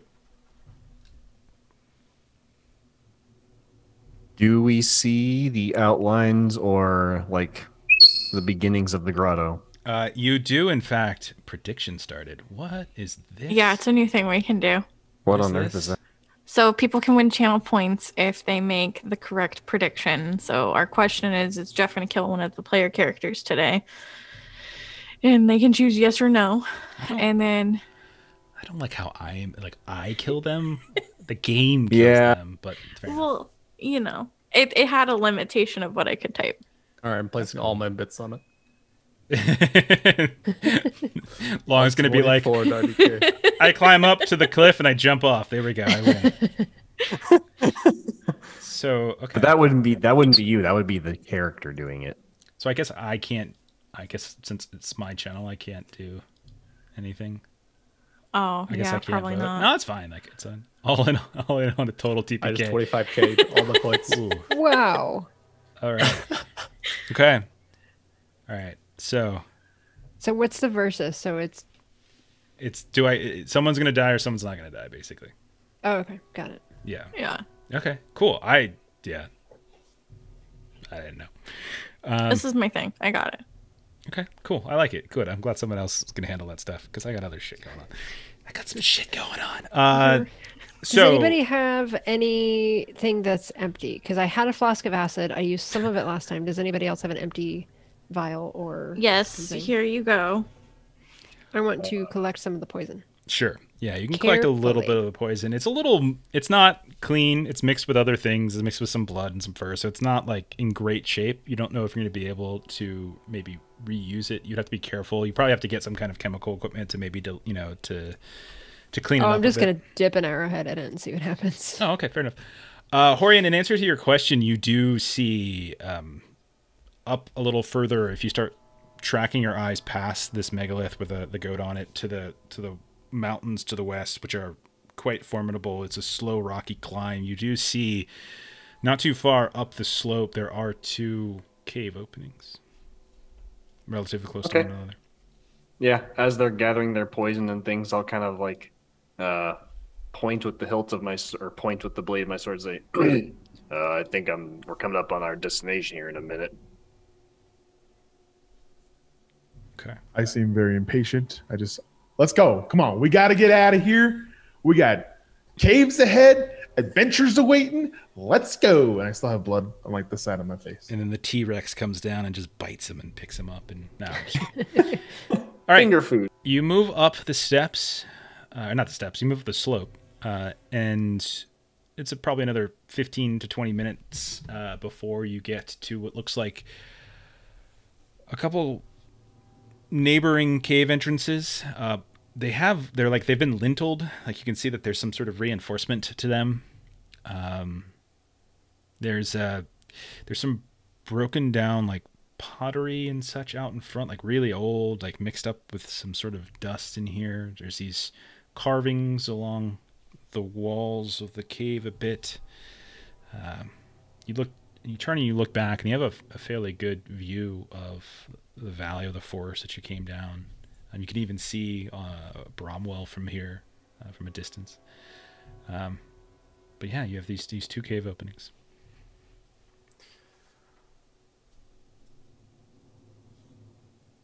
This is where you Well- tell me what you would like to do.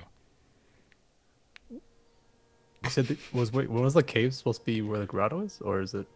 That's that, that's that's the the interpretation that you've been working on. Yeah. Pick the cave entrance to the right. Okay. So you start going in. So Khatrak leads the way inside. Doesn't look for traps or anything. I on I do. That's like an automatic thing. Okay. uh huh. It's not an anything. All right.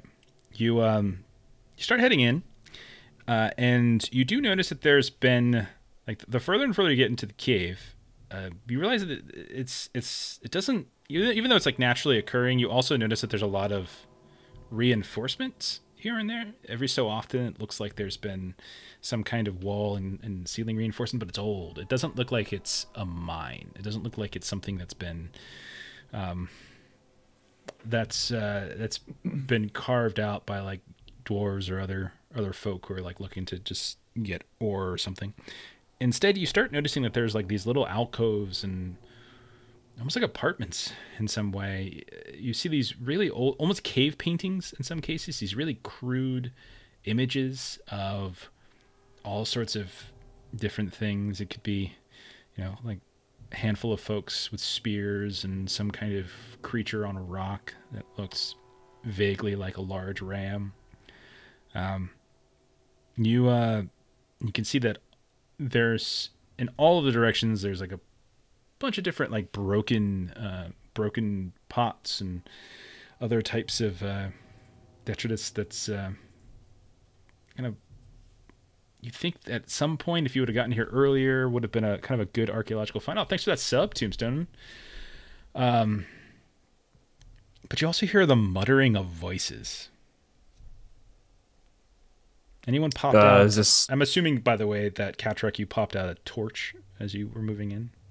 Yes, and I did roll an eight on the observation. It's just upper hand. Okay. Um, you haven't noticed any traps or anything? You know, no signs of, of anything like that? I'll uh light the bullseye lantern as for whenever we go in deeper. About are we able to tell about how far the voices are? Like do they sound close? Do they sound like they're, you know, reverberating quite a while or echoing quite a while? Uh, they're not too far away, but they they sound strange though. Like they sound Like, like, chanting? no, no. It sounds more like arguing.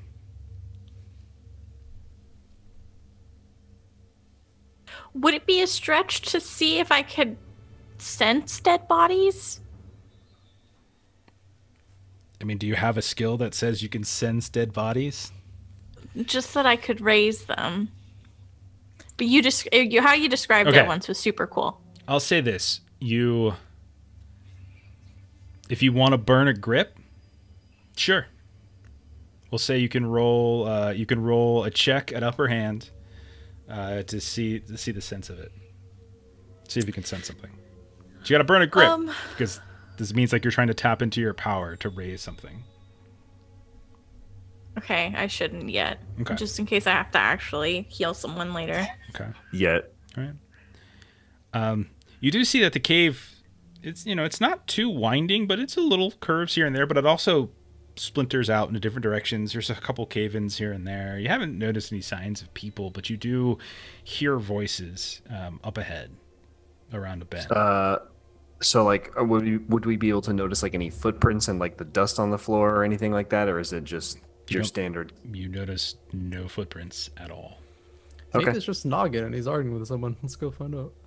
Yeah, uh, I'll lead the group since I've got my shield and my armor and the lantern, and I'll just try and follow wherever the sound of the voices is coming from. Okay, so you you head forward, um, bypass some of the apartments and things, and you curve around the back of the uh, the back of this cave, and you can see that it opens up onto a fairly large circular room that's depressed down, like you're on a ledge looking down to some sort of you would imagine is is like a like a meeting area, some kind of huge dwelling for like pre, you know, pre-human people in the middle of this cave, and there's a handful of these other alcoves on the top ledge that you're now on. And when you look down into that large circular depression, um, you can see there's about a dozen floating green blue ram skulls, and you can hear them they're they're yelling back and forth to one another. Um, you you hear somebody yelling like like, and I found something much better on the east. We could go east. We could go. Don't we can go further up into the mountains. And they're all yelling like, but we've been here forever. They're the ones who should have to leave, not us. Why should we leave? Like, well, because anything we do to them doesn't seem to help. They ignore us. It's like we're not even there. Just a lot of crazed, crazed arguing between these glowing ram skulls.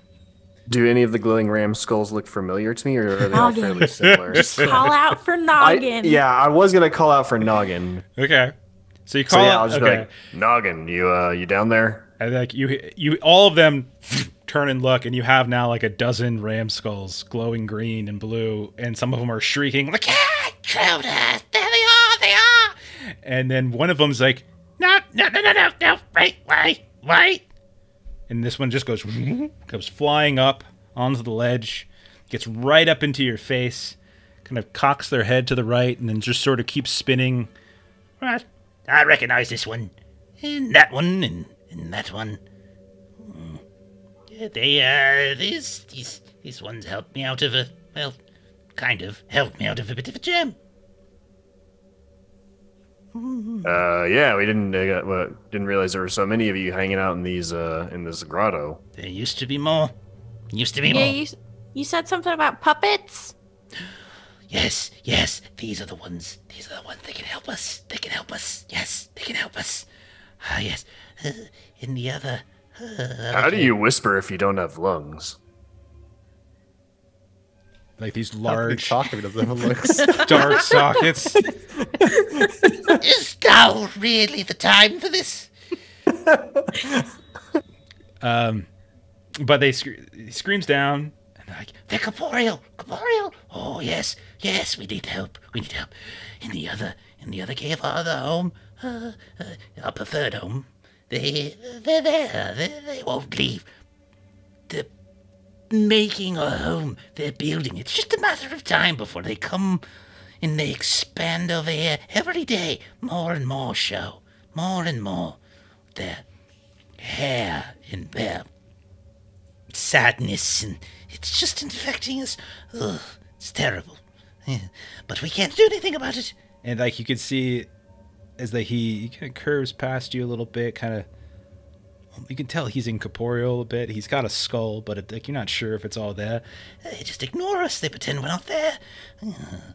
But, like, but, and there's an echo of like eleven more of them down there. They're like, but, but, but, but, but, but, and it's all echoing. If you help us, well, they couldn't ignore you, could they?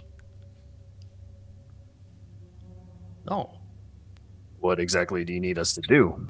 Oh, nothing much. And then you hear them start to echo. Nothing much at all. Nothing much. Nothing at all. It's nothing at all. It's not hard at all. Oh, Yeah, we're in a murder cult now. if you would let us into you, we could work together to get rid of them. I turned to Sister uh, Sophie and I'm like, uh, "Is it safe to let another soul inside of you? I'm not an expert in this." We, we can help. We can prevent you from getting infected. We should maybe not all try that, but definitely me. You can you can enter you can enter me. We we we mean you no harm. We're just trying to help, and, and it's our way of, of helping you. helping Infected us. from what? The hair. Do you want to become one of them too? Could you think one of us might potentially already get be. hair out of people? No, I- we can't heal with just ghosts of ram skulls. Don't be ridiculous. Of course, we can't do that. But we can inhabit you, and if we're inside you, then, well, the hair can't get inside you. Do you understand? Kind of leans Yeah, I'm in cool really with it. Uh, if Sophie's okay with it, I, I, I guess I could do it too. But this is uh, I'm this is weird. What's so special about the other side? Well, that's where we used to live, and then they showed up, and there was more of us, and then they are growing their numbers by the day. More and more show, and they weep and they wander, and they're making homes now, and then they're pretty soon there's going to be too many of them, and they're going to need more space, and then they're going to come here, and this is our home. We've been here all our lives. Well, our afterlives, that is not important.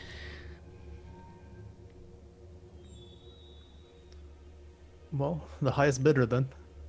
And Khatrak's gonna uh, kind of pipe up and say, "So, do you think you would be able to also help us fight one of the larger creatures, like one of the snakes, or, um, Salacillus, even? Kind of actually cutting this off at the source instead of just fighting small things on the ground." Sophie's gonna pipe up. Are we really concerned about that? Do you guys know any treasure we could get? Do, do we know treasure? You've been here for forever, you know? Well, there is a tomb to the north that is, well, where a, a very hmm, mm, wealthy, wealthy man, mm, he buried a small private force who worked for him, um, the Ram King. Uh, what he called himself, centuries old, centuries old. Very lucrative finds inside. Perhaps we could tell you where it is. Like gems lucrative or like lucrative to a ram?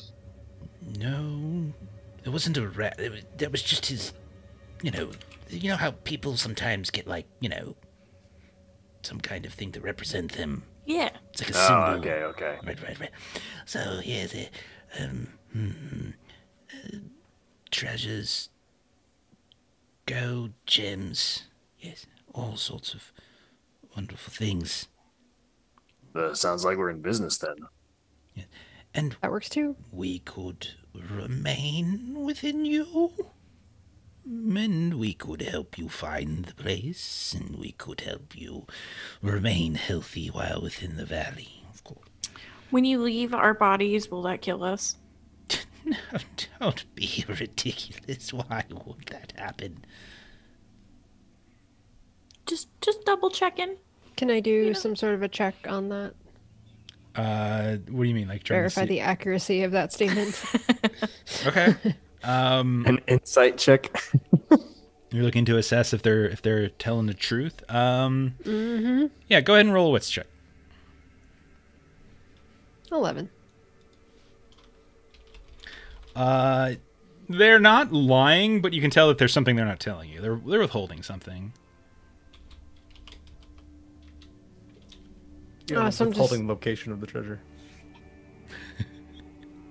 Uh, I'm so cool with them entering my body, so like, you hmm. know, I've lost my brains. Hohrion doesn't understand magic. He just looks to his peers. I don't really know magic either. I just know I can raise the dead. He thinks you do, though.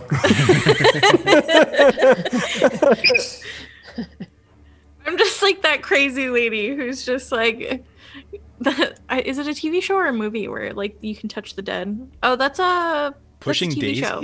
Daisies. yeah, pushing daisies. Aw, I remember pushing daisies. Ugh. You're thinking of show. Phantasm starring Michael J. Fox. That's what you're thinking. Phantasms. No. No, it wasn't Phantasms. No, it was definitely pushing daisies. Someone with Michael J. Fox. I know what you're Hmm. talking about. Oh, what was that called? I remember that Phantasms is something completely different. there was. Blue Oyster Cult. Phant- isn't Phantasms the Dean Koontz one? Isn't Phantasms the Dean yeah, Koontz or like or is that there's, like, Phantoms? okay, we're getting off track. All right. Um. Anyways, polar bears. Anyways, polar bear. So Khatrak wants to follow up and just say, Okay. so is the thing you're not telling us where the treasure is, or is the thing you're not telling us that we're actually going to be worse off when you leave our bodies later? Well, we're not telling you where it is yet, of course. Yeah? Uh, yes, that one. Hmm. No, no, you'll be fine when we leave your bodies. Nothing to worry about. What about? eh, So you said we'll be fine when you leave our bodies, but what about when you're in our bodies? You'll be, you'll be fine. You'll be protected from infections. How easy Well, is it to get you to leave? Do I just tell you that you're going to leave and then you leave? Well, we'll leave when it's right to leave. Uh huh. When That's incredibly No. vague. Do you leave when I say you're going to leave, or do you leave when you think it's time to leave? Well, we'll, we'll, we'll leave when it's appropriate for both you and I, or, or you and us to leave. This is so. Khatrak kind of looks back to the group and say, "I'm only going to be on board if you leave when I say you leave." Fine, fine. There's no reason to get to get so upset. We weren't not being malicious in any way. We just I've been wandering the world in this body for a long time. I kind of like it. A long time? not to have company if it's not invited. and they all and they're all like, a long time, a long time, a long time. and you don't know long time. We've been here for longer, but it's not here. Yes, of course we'll leave when when you when you say it's time for us to leave. We will leave, of course. Thank you. And so then I'll turn to everybody and say that I am now on board. and then one of them swoops into Khatrak at that point. And you just feel like a, Oh. this wheel. I imagine just like that scene from on. Space Jam where the uh, talent goes in and out of people. a little bit. Yeah. Yeah, and you can hear a little voice in the back of your head. Oh, this is very comfortable, very comfortable indeed. Oh, oh, you're shorter than I thought. Oh, oh, oh. I haven't felt hands in a while. Like your hands are kind of moving without like. Uh, can you just get situated, Just, please? I just, you know, Please. when you're incorporeal for so long, it's just, it's such a wonderful feeling. Ah, And then like you start seeing a little Khatrak do like a little jig, like a shake, shake, shake, shake, shake. yeah, like. I'm gonna be a total pain in the ass. I'm gonna go over to one of the cave walls and just sort of like kick my foot into it. Okay. Uh, to okay. Take one point of damage. Why would you do that? that, that oh, it hurt both of us. It's smart. Oh, this is what happens when you have a body. Just giving you the full experience. you harm it intentionally? That seems very stupid. We haven't had bodies for ages. If we did, we would certainly treat them better than you. Just wait till we have a drink later. Hohrion, not knowing what to do, just kind of like does like a T pose essentially, or like just holds his hands out. and is like, okay, And you see uh, a, a couple of I'm, them. I'm ready. A couple of them come up, and one of them's like, "No!" This one's mine. And this really large, wide, ugly-looking ram's called, Oh, this Oh, one no. will do nicely. Ah! and just comes swarming in, takes you over, and you just feel. Uh, guys, I think I'm gonna throw up. Uh, I was a powerful warrior once. You. You are modest, but you have potential. Oh, goodness. God. Oh, you haven't shat in ages. You really should eat more vegetables. Oh. I just imagine like Hohrion's like pecs are just flexing under the breastplate of his plate mail. Exactly. It's just like like damn. yes. Mm. I need a mirror somewhere to look at how wonderful I look. who's next? I'll start running in the opposite direction of first one to get me gets me. Okay, like three of them just chase after you, like we're gonna get you. Oh, we will. And then one of them, like, just you as you're running, you just feel it come right into your ass. You're like, ooh. Not the way I wanted to go inside, but this'll do. Ooh. Aren't you a little weakling? Ooh, oh, I think I got a defective one. This one, very, oh, awful. Oh, oh, goodness. Oh, the pain. I feel the pain in my back. What is that? Oh, goodness. Oh, oh this'll do. I suppose. Uh, when you've been in Comporto so long, you shouldn't. So long, you shouldn't. Uh, you shouldn't complain. I suppose. And then So that Sophie, just leaves O'Hare.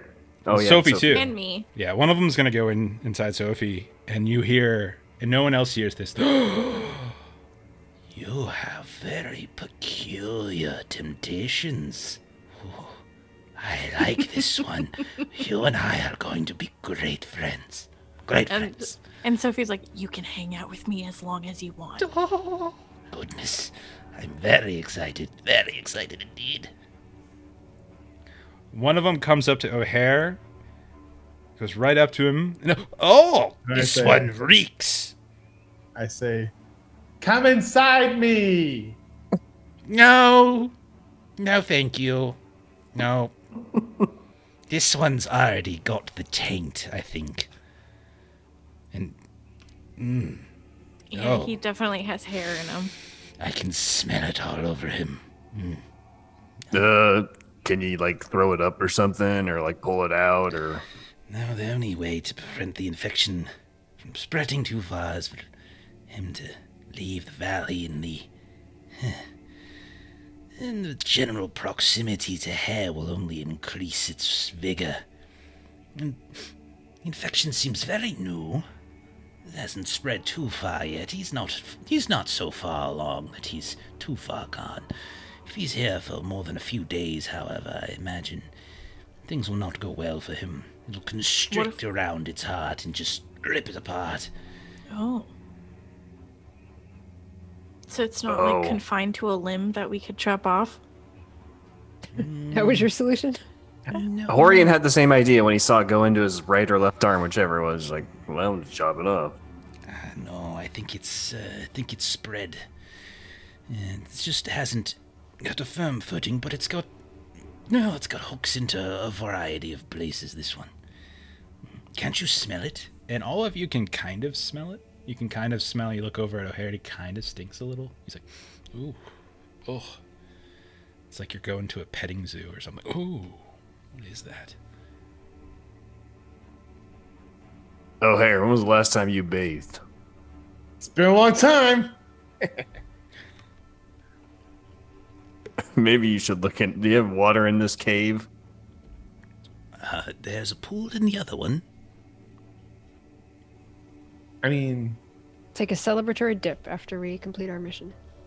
I feel kind of left out, but being the only one that doesn't have one side of them, it's pretty great because I'm pretty unique, and that's what being an adventure is about, you know. This He's one's- only being so positive because we're pretty positive he's dying. And then only to Sophie, you hear, Um, the world might might miss him. I, I, I don't know. You just gotta have a positive attitude and attack the world every day. Hopefully, he can just hang in there, and everything will be just fine. Just fine. So what's the game plan? Let's go. They lead us slaughter to the grotto, Yes, Oh. murder them. Rip them apart. We are in the grottos. This is one. There's another. or wherever the puppets are. Sorry, I'm confused. I've got two brains now. That's okay. Your brain isn't very big to begin with. Uh, maybe so since I let you in, but we'll work with it for now. It's okay. We're gonna do wonderful things together. It'll be just fine. All right, so they start leading you back out, and they, you know, they're telling you in your in your in your brains. Um, all of you can only hear your own, like they're not vocally anymore. A few of the other ones that didn't in that didn't inhabit uh, one of you follow along for a while, and they're kind of talking vocally as well.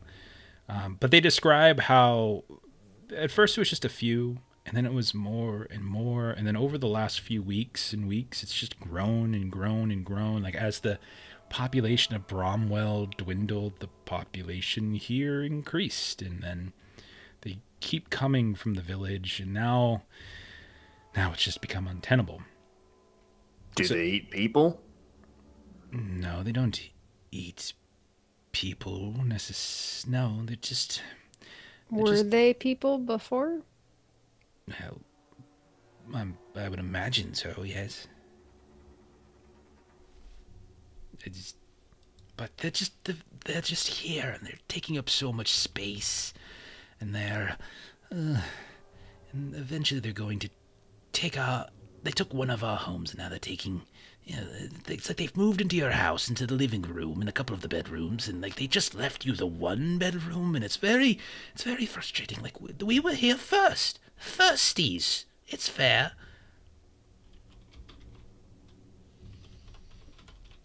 It'll be Do they fine. do that gets in your way So I- though? They, okay, we lived there. They showed up and pushed us out. I don't They know if sleep I in can your make bed this to eat any your food.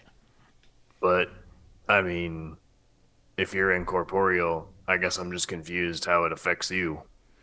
Oh, if you have a home, do you just enjoy it? If if we were here incorporeally in your home all the time, would you enjoy it? Would you get annoyed by us after a while, gibbering, jabbering all the time, moving all over the place?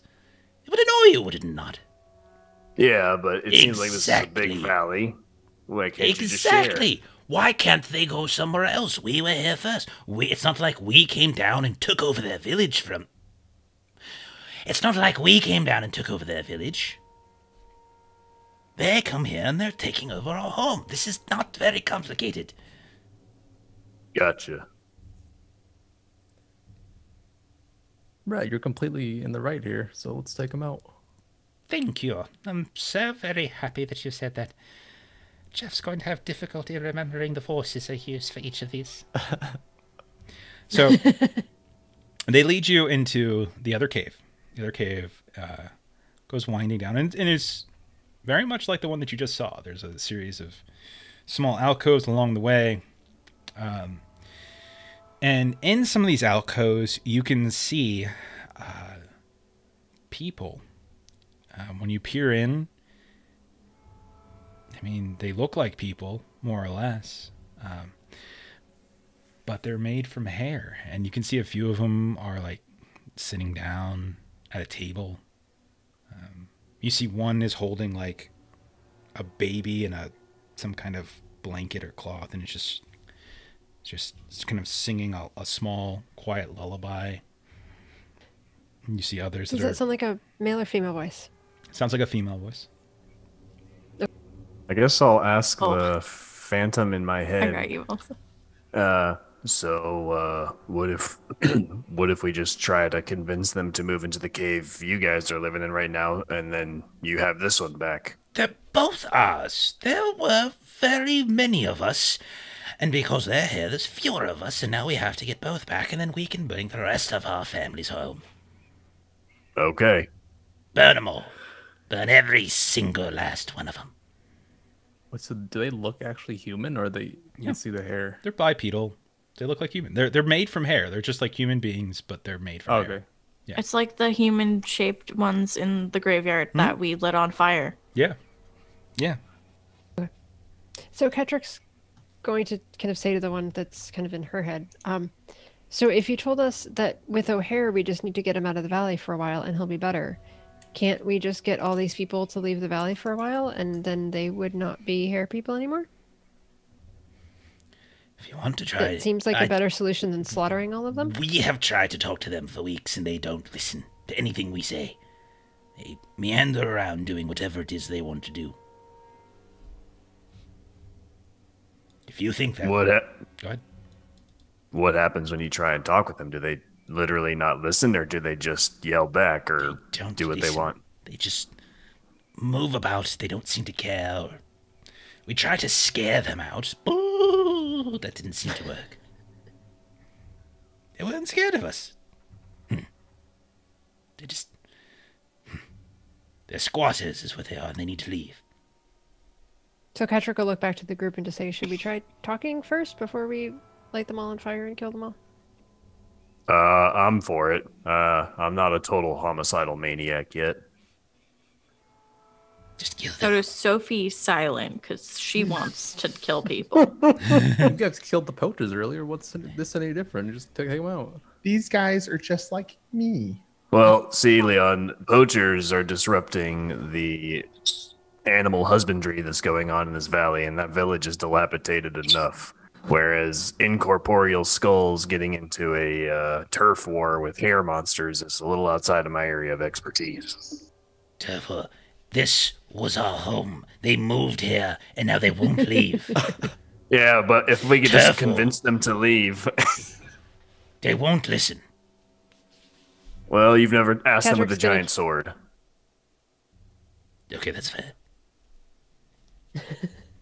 Uh, So who wants to try yeah, talking? I'll have you guys ready by and to light up the place, and I'll head in. I'll give the signal if it doesn't go well. That sounds good to me. All right. So I'll head in when everyone else can just be ready, I guess. Uh, so, is there a particular type of person, hair puppet, you're looking for? Um, like again, there's there there are all these little alcoves, and you're passing down kind of a central cave entrance, and then like there's different ways that kind of branch out.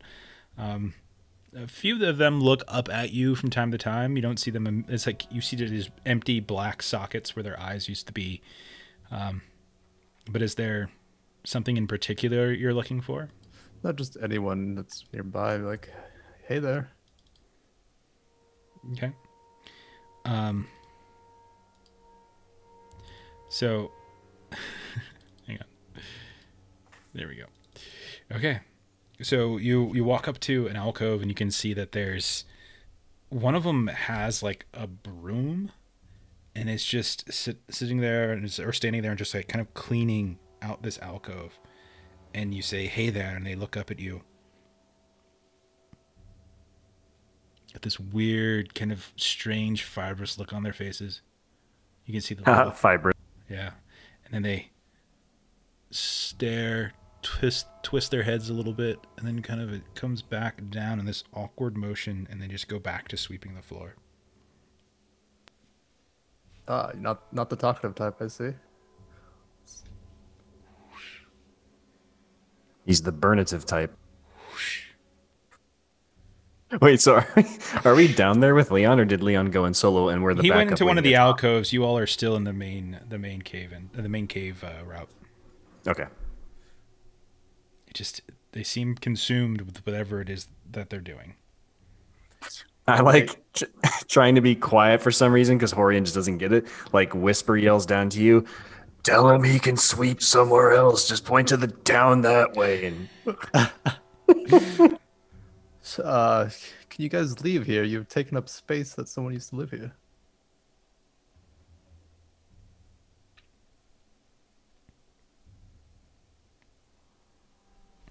Whoosh. Whoosh. Are they actually sweeping anything? Or They are in fact sweeping the ground. It doesn't look like they're doing it. It's like you're in a freaking dusty cave though, so it's like Okay. it's sort of like a moot point, but they're doing it. I'll just back out and tell them, yeah, these guys are right. They don't do anything. what if, uh, what if I piss one off and then have it chase me out of the valley? I can run for a while, unless uh, old floaty in here can't run that well and slows me down. Just try pushing one and see what. Oh, happens. I'll do that. If it just goes in the Hohrion direction just you push it. strolls into the cave. Okay. Uh, again, is there like a particular? I'll go up to the sweeping one since I saw Leon talking to them. Okay. And like remembering how even though I'm not a people person, I used to be a knight, so I understand chivalry. So I'll like put the like, you know, like you're guiding your elderly grandmother across the crosswalk. I'll put like a gentle arm and like try to gently like Okay. move him with me or They- them with me. They kind of move as well, and they're sweeping the whole time, sweeping, and they'll make it all the way into the main hallway of the cave here.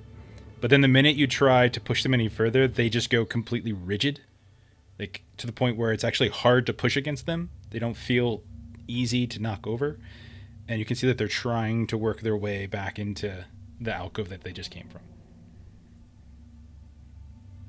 Uh, Hohrion will try and like squat down and see if they'll uh, piggyback. Uh, no, I don't think so. understand. I okay. think so.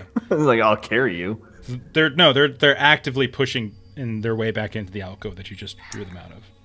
Okay. Um, could I try and like pick them up, like you know, wedding bride style, whatever that's called? Of Like sweep them off their feet. Yeah. Uh, roll a brawn check.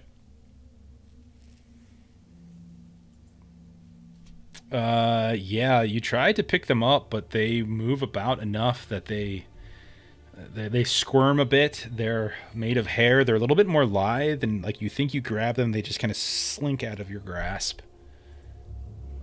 You can spend a grip if you want to re-roll the one with exertion. Uh, yeah, I'll give it a try. I want to see what happens. Yeah, just roll a d6. So Yeah, all you need to do is roll down. two, and you should be fine. Yeah, that's, yeah, that's exactly enough. And you pick them up, and you hear like this sound emit from their mouths, like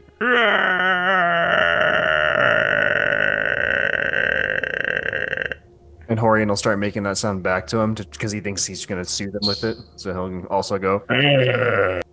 all, and then all of the other ones in the other caves begin to start slowly like traipsing out, and you start hearing and these long mouths that open up a little bit longer and wider than human mouths would, or is like the echo of the sound comes out of it. You look inside, you see like you don't see like tongue or teeth. It's just this empty, vacuous space from which this sound is emitting. It's kind of unsettling. And all of them begin to slowly creep in on you, and you can see that there's some that are squat and heavy, and there's some that are tall and lithe, like an array of different body types that you would see in any old village. You see the one that is carrying this like this little bundle of a baby, and although she seems to be emitting some kind of sound, there's nothing that's coming from this swaddling of, of, of baby. And there's slowly one one by one all these alcoves are filled and deeper into the cave as the sound begins to echo and you're just you're you're becoming swarmed. Like there there's Yeah. So when I see them make their way toward me, would I be able, while holding this thing? Am I able to jog toward the mouth of the cave, or like walk at least, or am I? Yeah, you too can do whatever you want. Yeah. Yeah, Do yeah. they So seem like, focused on him only, or like are they looking at us at all?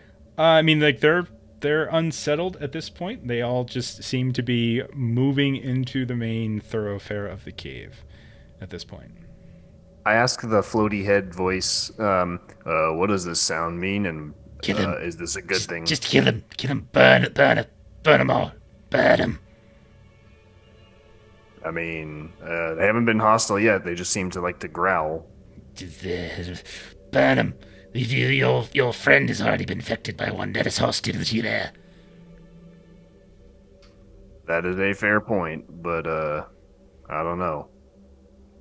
and they're they're moving up like slow moving you know romero zombies um you guys have to decide to do something i mean if you want to pick them up and run away with them that's fine but there's more here than there are of you guys. So what are the rest of you doing? Can I understand them? uh that's a great question. Um Because I am like one of them. you you're only a day into your infection. Um so you do kind of sense some emotion but you don't you can't quite get clarity of thought from them but there's definite there's definite like they're definitely unsettled they're definitely angered um at the the kind of invasion that is that is that Hohrion is now um, has has now uh, essentially begun, and there's a, a rage that's beginning to start to, to grow. It's it's getting stronger and stronger, but you can't get clear thoughts for them yet. But you are getting like baseline emotions. Is there any way that I can communicate with them to settle them because of my ability? Like, is there a way I can maybe check that I can? Uh, yeah, you don't. Again, you're only a day into your infection, so you're not f- you're not as far along. You can tell, by the way, that they're different than you. You, yeah, they're they're different from you. When you look at them, they're just all hair. Like it's not like you where you have into. There's something different. Um, you don't get the sense that they. A lot of them seem confused. Um, there was like an underlying sort of sadness and confusion about them. Um, but as you like, as you try to like you put your fingers to your temple and you try to communicate with them, like read my mind, doesn't seem to work. No. Um, but I will say that you also feel like a, a kind of a. You don't feel like you want to harm them. Like I would say, like there's there's in you in your mind, like the idea of harming them is is is so far removed from you know something you would probably normally want to do. I don't want to like I don't want to like run your character, but like there is something about that connection that you now feel. Um, it's there's yeah there's something a little deeper in there as if, if if you feel harming them you specifically would be very difficult to do. Um, I guess I'm gonna get in between. Can I get in between him and the person that he kind of accosted Absolutely. and separate them and say, guys, guys, guys, these guys are cool. Okay, they're upset. I they're not. I don't understand what it's like to be upset because I'm happy all the time. But these guys, they're upset. So let's let's calm down. I'll turn over to to Hohrion. And I, I just I'm like, no, no. I'm looking at them. I'm looking at him like, no, no, no. So I, no, no, and I like pick up his hand and like slap it. Like, no, no. Back him up, and I'm sitting there. I'm like, it's okay. Everything is Oh, okay. hair! I don't understand. I thought we were asked to empty the cave so the skull people. I said no. Yes, that, yes. that doesn't. Kill them, burn them. Just wait. Your your stupid gotta small able- friend is ruining everything. Just relax. Let's see if we can be diplomatic. Isn't No, that why we're taking them to a new town? Yeah, but you, you picked one up like a psychopath. They're not really going to be thrilled. Oh, I'll show you, psychopath. And I'm like, I got a sword I can swing around. Just minute. relax for a second. You big dumb idiot. All right, so let's just let's just let's, let's, let's talk. Just relax. I want to have a good time. Sophie's looking at Khatrak like, mm and she's like slowly reaching into her pack for like a torch, and she's just it's unlit, but she's holding it. Yes. Trick's gonna kind of wave her off, um, and just say, like, Hohrion, I think he's right that taking one out is just angering the rest of them. So we're gonna have to fight all of them. So maybe we put him back and see So if if they- they'll just go back to ignoring us, and that might make this easier. But if we get them in a big swarm and you guys want to burn them or murder them, that would Stop. make it easier. Talking Yes. about murdering. Yes, now we're thinking tactically. They're people. They're just like me. You want to burn me? You know what? Don't answer that question. Sometimes. Okay? Anyways, Sophie, I think think, that there's a you better should way to burn them all and burn the other little than one too. Yes, Bernie, yes. Bernie, fire, fire. I think some of us know that fire is not a great idea all the time. what if we get uh some kindling and like have it set up and then get them to chase us and then light them and the extra kindling on the ground on fire? You're That is the overthinking exact it. Just light the torch and burn them. Burn them now. Exact opposite of what I'm trying to say. I don't know if you understand. What I'm trying to say, I'm saying no burn. But then what do we do with the skull people? Today's we're not a no burn day. It's fine. But Arizona joke. but it could be a no burn day if we try and deal with this in a diplomatic fashion. What's your What- solution? As I angrily set the broom sweeper down and look at the short one for answers. So you guys are concerned that these are people? Yes.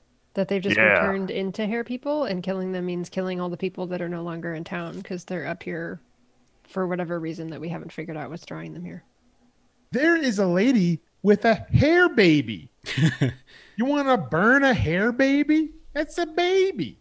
Let's I just cut relax. my hair regularly and it never ever has any issues with it. So I'm Let's just Um, relax and try and figure this out a non Bernie way, you know? What is the reaction of the group now that uh, Sweeping Man has been set back on his own two feet? There's an apprehension. They're still here, and they're they're like the they have stopped their weird sound a bit, but they are hulking nearby, and they seem like they're blocking your advancement further into the cave or into any of the alcoves at this point. Mm.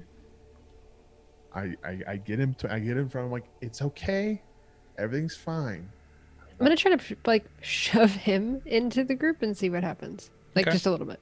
Well, I was gonna walk in. Okay. Well, no, she shoved you. So you, you get shoved in the group. And you just stumble into a few of these, and like you fall down to the ground. One of them reaches and like underneath your armpits and just sort of pulls you back up onto your feet. Thanks. See, it's okay. All right. Says the Okay, so- infected.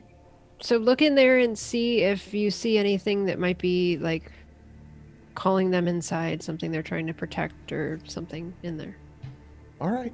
But you guys got to promise me no Bernie Bernie. Okay? No Well- fire fire. No feeling Hurry the the hell burn. up.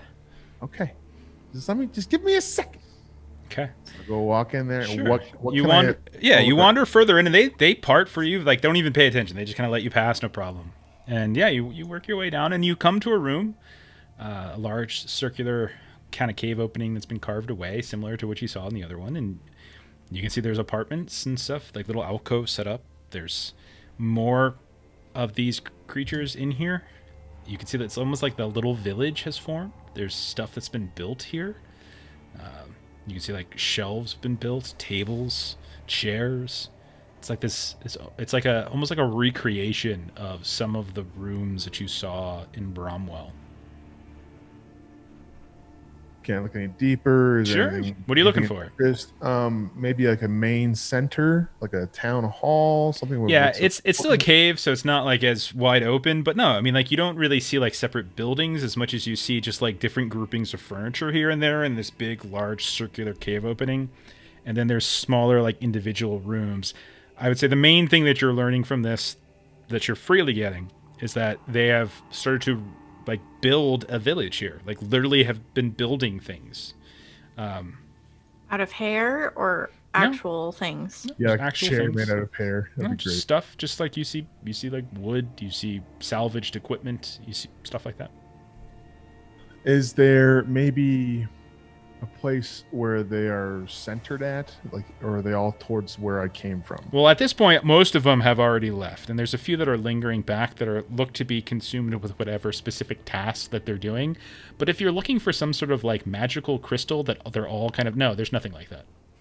This is just a village. It's it's just a village. It's literally all you're that's all you have learned and all you will learn from coming and looking around. All right, so they have sentience and they have a sense of community in life. So, what else could I look for? Um, uh, does it look? Is there any like distinguishing features that this might actually be the people from the town? okay Um, maybe clothing or or or markings or furniture or something around that would be similar to what we saw in the town. Roll a will check. Okay. Um, A lot of will. we'll say this.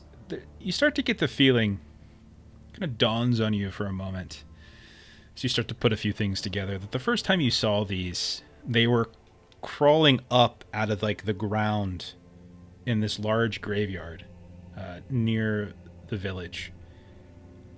It starts to dawn on you that maybe these aren't necessarily the people who were infected, like who somehow magically turned into hair puppets, but rather the kind of the corpses or the spirits even of those who are departed that have like risen and taken on this sort of animated form as if by the hair kind of landing on the graveyard like the the lingering spirits of those who had passed have somehow entered into the hair and found physical form once more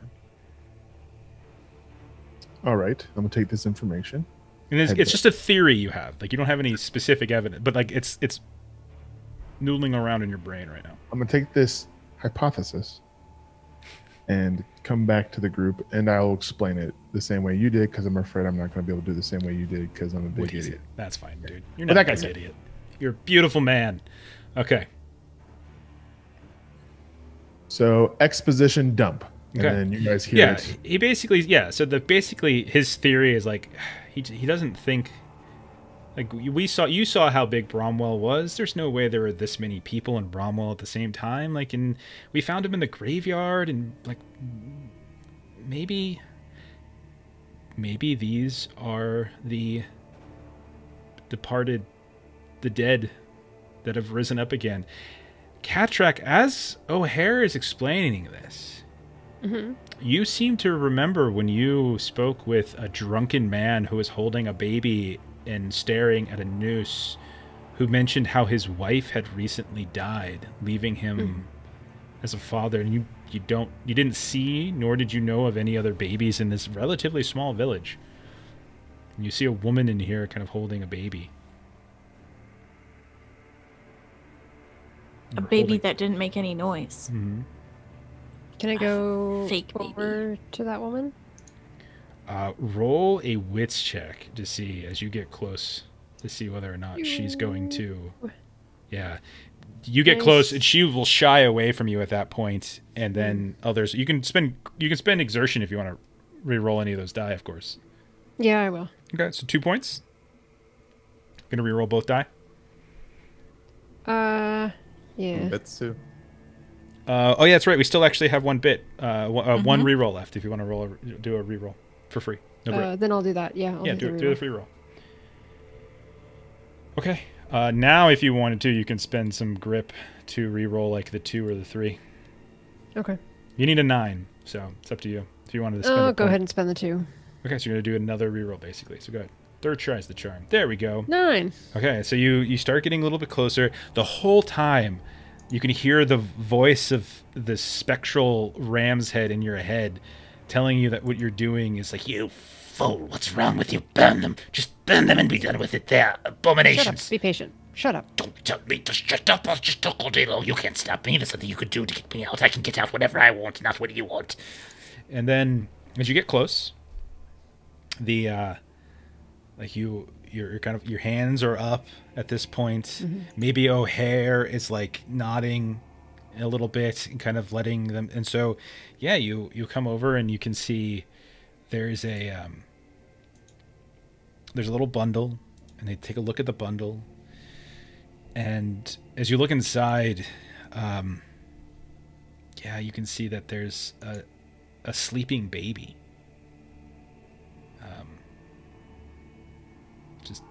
Just sleeping.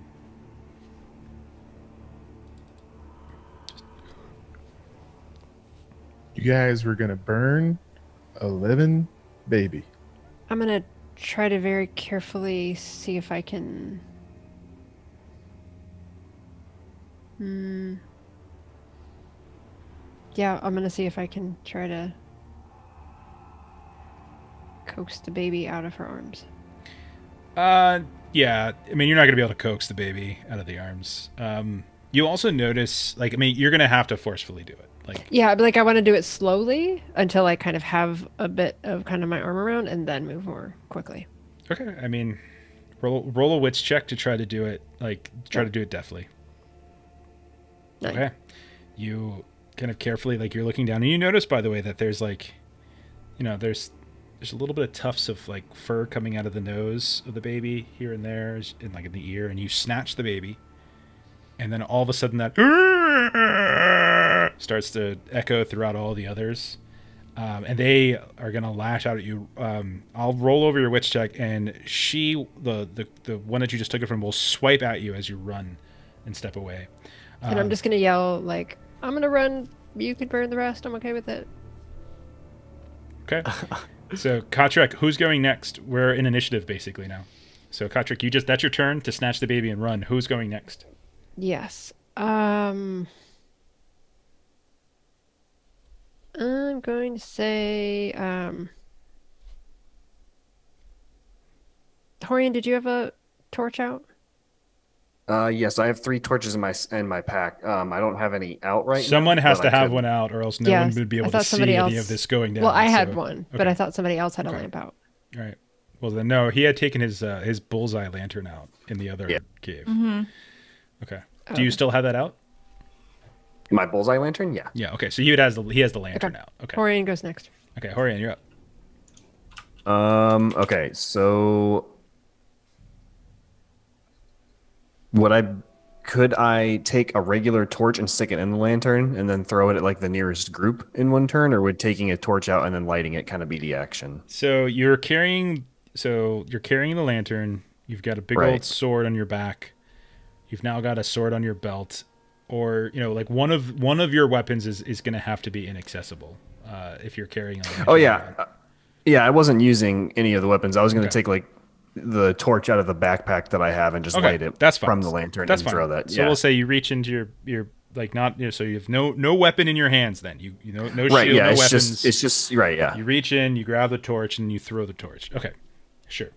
Um, roll a wits check to see if you can throw it decently to a good chunk of them. Obviously, it's gonna, and you do,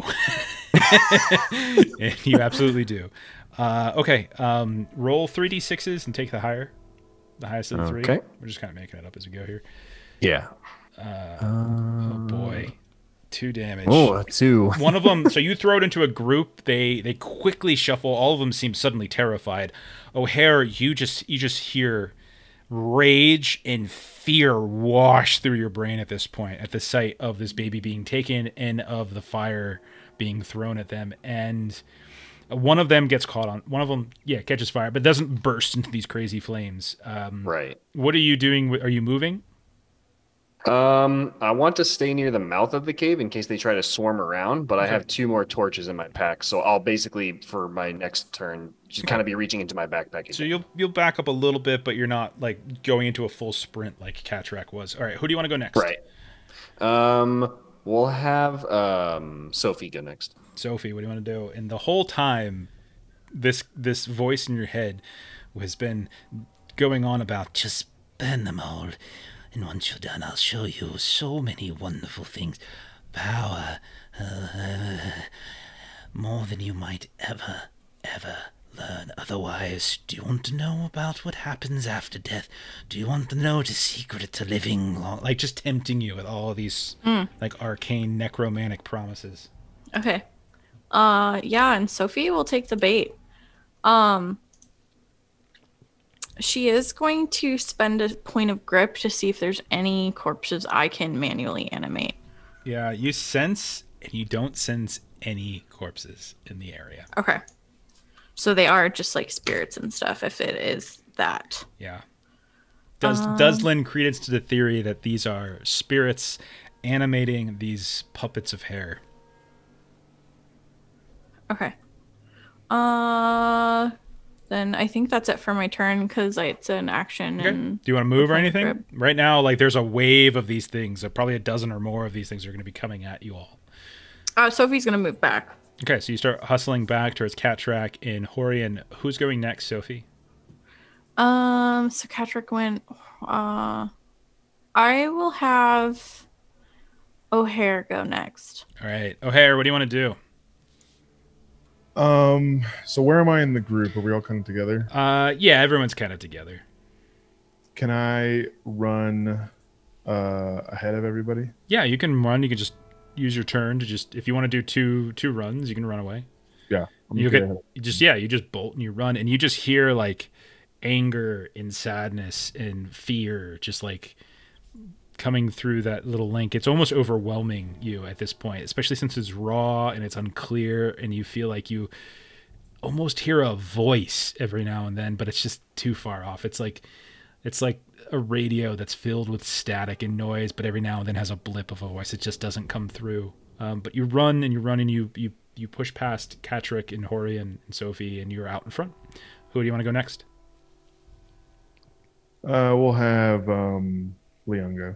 All right, Leon. I'll just escape. Okay. As you're running, you hear in the voice like, Just, you have torches. Burn them. What's wrong with you? God, you. Oh, I- got the I defective they one. were letting up. Just this. a little bit. Hohrion threw, um, and one of them got hit. Uh, I can light and then throw one and run. Yeah, go ahead. Roll a witch check. See if you can get a decent throw into a big group of them. Nah, I've been failing. Okay, you throw it and it kind of lands on the ground, uh, and you can see they scatter away from it and they back. Definitely afraid of it. They'd have to step over top of it, but you don't actually hit any of them. Who do you want to go next? It's either going to be. Actually, no, since all of you went. You're again. No, it's not. They go, Oh, and they get to go two times in a row. so the wave of these creatures, uh, these these puppet creatures, are gonna are to start lumbering toward all of you, um, with the exception of O'Hare. And uh, I said there's about a dozen of them, uh, and I'm to see if any of them uh, are to run into the any of the fire, anything that's going on. So go. All right. Uh, one of them is going to step onto accidentally as they're pushing past one another uh, the fire, uh, the torch laying on the ground. A couple of them bump into each other. You see several of them now have little tufts of flames that are beginning to burn, uh, but they're still able, with two turns, to move towards you. Then on their next turn, they're all going to effectively be able to attack every one of you, with the exception of O'Hare. Um, so Leon and Hohrion, um, you're going to get surrounded by three apiece, uh, and then Khatrak uh, and Sophie. Uh, you're going to see two of them are going to surround you, and then a couple more are staying back, trying to like, like avoid the fire at this point. Um, so, okay, so this is going to be upper hand uh, on Leon. Uh, Leon, you're gonna take. What's your AC, Leon? Eight. Um. All right, you you dodge the crit, but I can do. I can do five points of damage to you, so you take five points of damage. Uh, Okay. Then, so as you're just getting harassed by all of them, same thing's gonna happen to Hohrion. Uh, what's your what's your AC there, Hohrion? Uh, without my shield, it is uh, nine. Okay.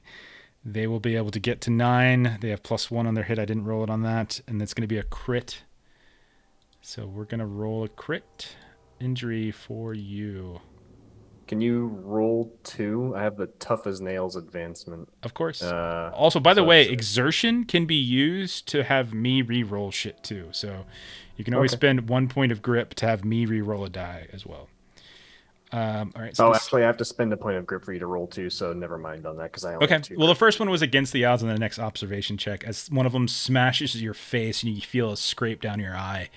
Um, but uh, you are that's that's not that bad. It's better than the, the other one. Um, and Yeah. then on two of them are going to surround both Sophie and Khatrak, but they because it's not they're not ganging up with so many, they're not going to get uh, upper hand. So first one's going to be on Sophie. Uh, Sophie, what's your AC? Sorry, nine. Uh, nine. They will be able to crit you with four plus two plus. No, I'm sorry, I can't add. Six plus two plus one is nine, and they do four damage to you. Okay.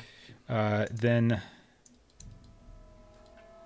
on to Khatrak. Uh, Eight. Eight. I didn't mean to click that. Whoops. They're gonna be able to do. They're gonna be able to do two damage to you, Khatrak. Okay. and none of them come for O'Hare. Um, that is their that is both their turns. Uh, I will say, um, O'Hare, you can go next. How far am I from the mouth of the cave? You can get there in one move action. You can What is at the front of the cave? Uh, you remember that there was like a lintelled opening, like there, like it was reinforced with some kind of old beam. Uh, that was that was reinforcing the cave opening itself. You also remember that there was like broken tools and pots and stuff and crates that were outside as well. Okay. I'm unhappy for the first time in a long time. I'm gonna get ahead of him. Okay, move action to get to the front of the now. Now you're outside the cave, looking back in. How sturdy does this cave entrance look? Uh I mean, it's been open this way for centuries, for at least years, so it's decently sturdy. It doesn't mean that you couldn't try to do something. I would like to try and cave in the mouth of the cave. What do you have to help So you? I have a short sword. I have a dual. I have a dueling sword, crossbow, throwing dart, basic armor. I have rope. Okay. Uh, I mean, Wait, you're trying to trap us in the cave? yeah, fuckers. uh, I have torch, ration, chalk, book of luggage, but you know the normal stuff. So okay. I mean, to- like, so how would you? How explain to me how you would be trying to cave in the opening? I guess I would try and take my. I'm ahead. I have some time. They're being attacked. I would try and take my rope, put it around. I guess a weak point in the mouth of the cave and try and pull on the. You realize you're a halfling, right? You're not Hohrion.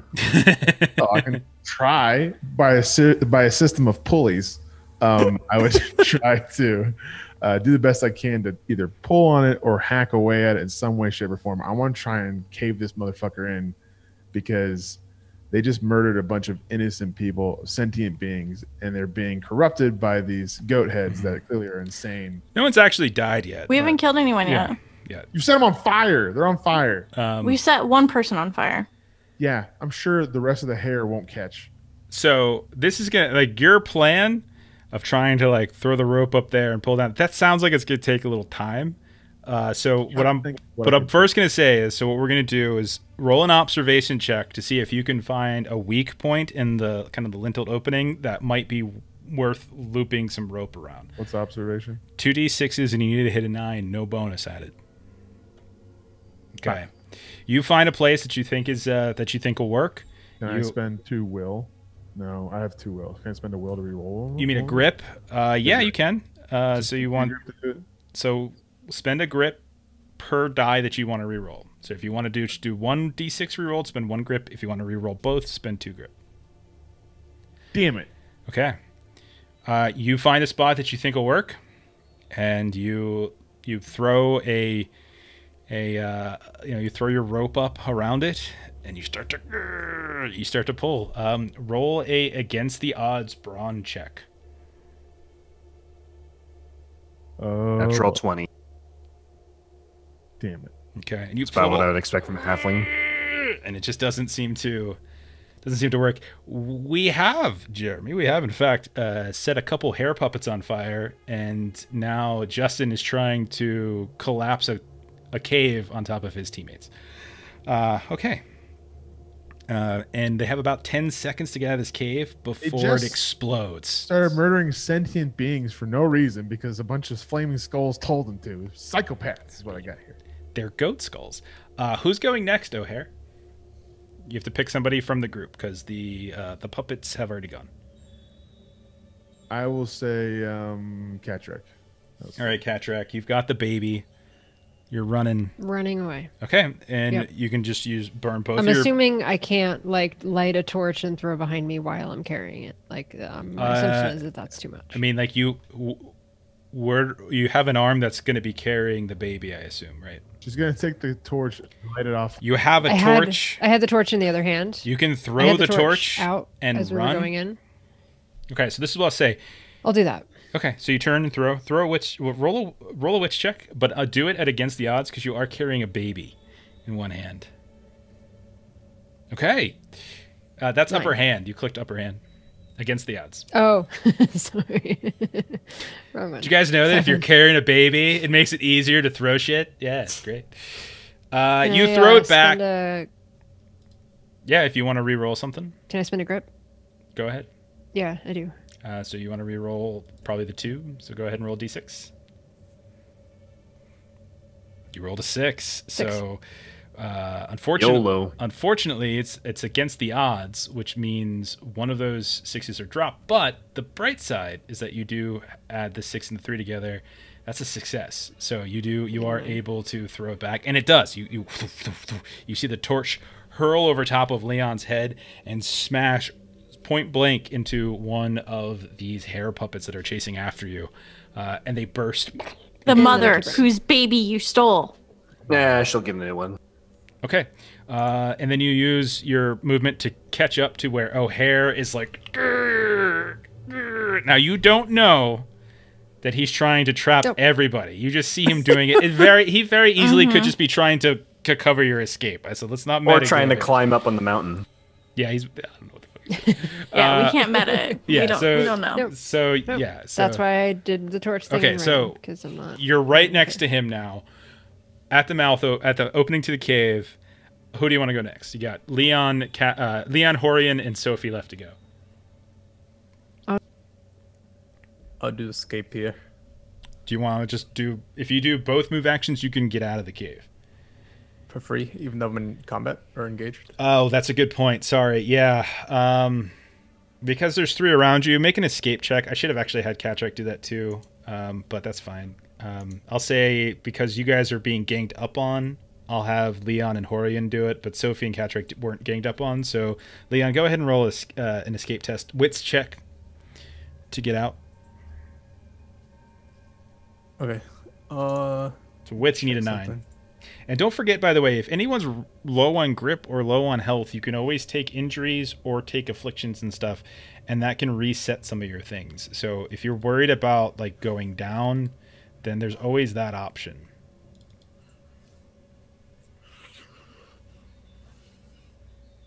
All right. I'll just do the wits check real quick. Okay, so okay, So I'll have to re-roll. Uh, no, both for two grip. okay, so reroll the thing? two. Yeah, as many grip, one grip per die. All right. Okay, There you're go. good. Yeah, you managed to definitely get away. Maybe the as the torch comes over top, you duck. They get kind of distracted by getting hit by the torch, and you use that distraction to run. Um, who's going next? And you are out of the cave. You are past Khatrak. You are past O'Hare. O'Hare is still carrying her the, the baby. O'Hare is trying to pull down the mouth of the cave or something like that. You think? Uh, so you got Hohrion and Sophie left. Uh, let's do Hohrion. Okay, Hohrion, uh, what are we gonna do? You're surrounded by three of these things. They're ganging up on you. Yeah. So, would I could I feasibly like empty the oil out of my bullseye lantern and like s- I'm assuming there's enough points of fire that I could kind of like swing the lantern around and spray oil across. I feel like you could probably just swing it and just smash it, and it might kind of explode with fire or something Yeah, like that. yeah, yeah. That Roll an works too. attack. Roll an attack with uh, with upper hand. Uh, so yeah, ten is good. Um, and so this uh, an explosion of fire happens, and it's gonna. I'll, I'll see. I'm gonna roll d6 um, to see how many it hits. It's gonna hit. It's a it was a D3 technically. It's gonna hit two of the three that are on you, and so two of them just burst into flames right now, and they're freaking out. The third one didn't quite get hit with the spray. Um, so that's your action. And then can I? Yeah. Can, then can I also make a start for the mouth of the cave? Yeah, and because you just set them on fire before you left, you can go ahead and roll your escape with upper hand, as now they seem to be distracted.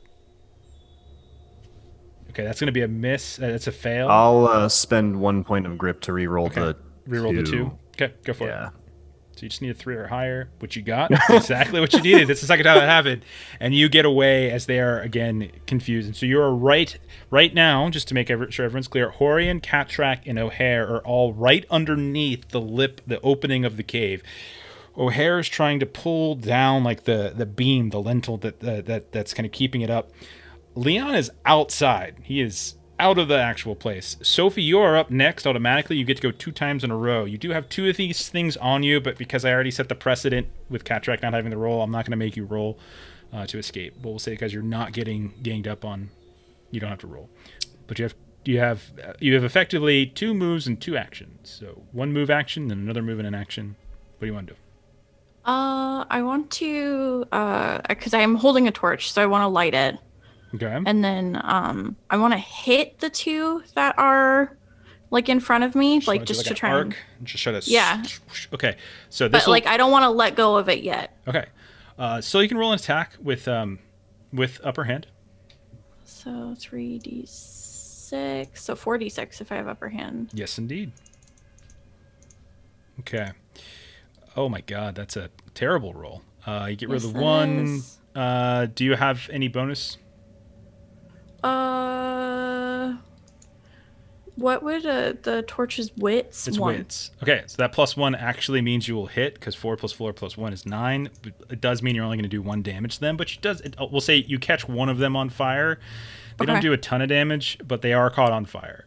Uh, you Yeah, have a it's mostly I move. move. You have a move if you want to do a move.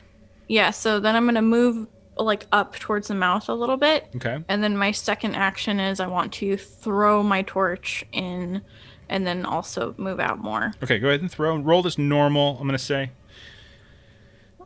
Normally you get an upper hand uh, for using the, the fire, but because you're like trying to throw it back, it's going to can't, we'll say cancel it up.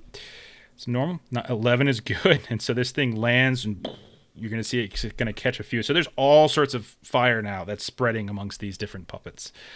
Uh, and then your last action your move is to to move out of the cave towards where Leon Yeah. is. Okay, so now Yeah. Leon and Sophie are out of the cave.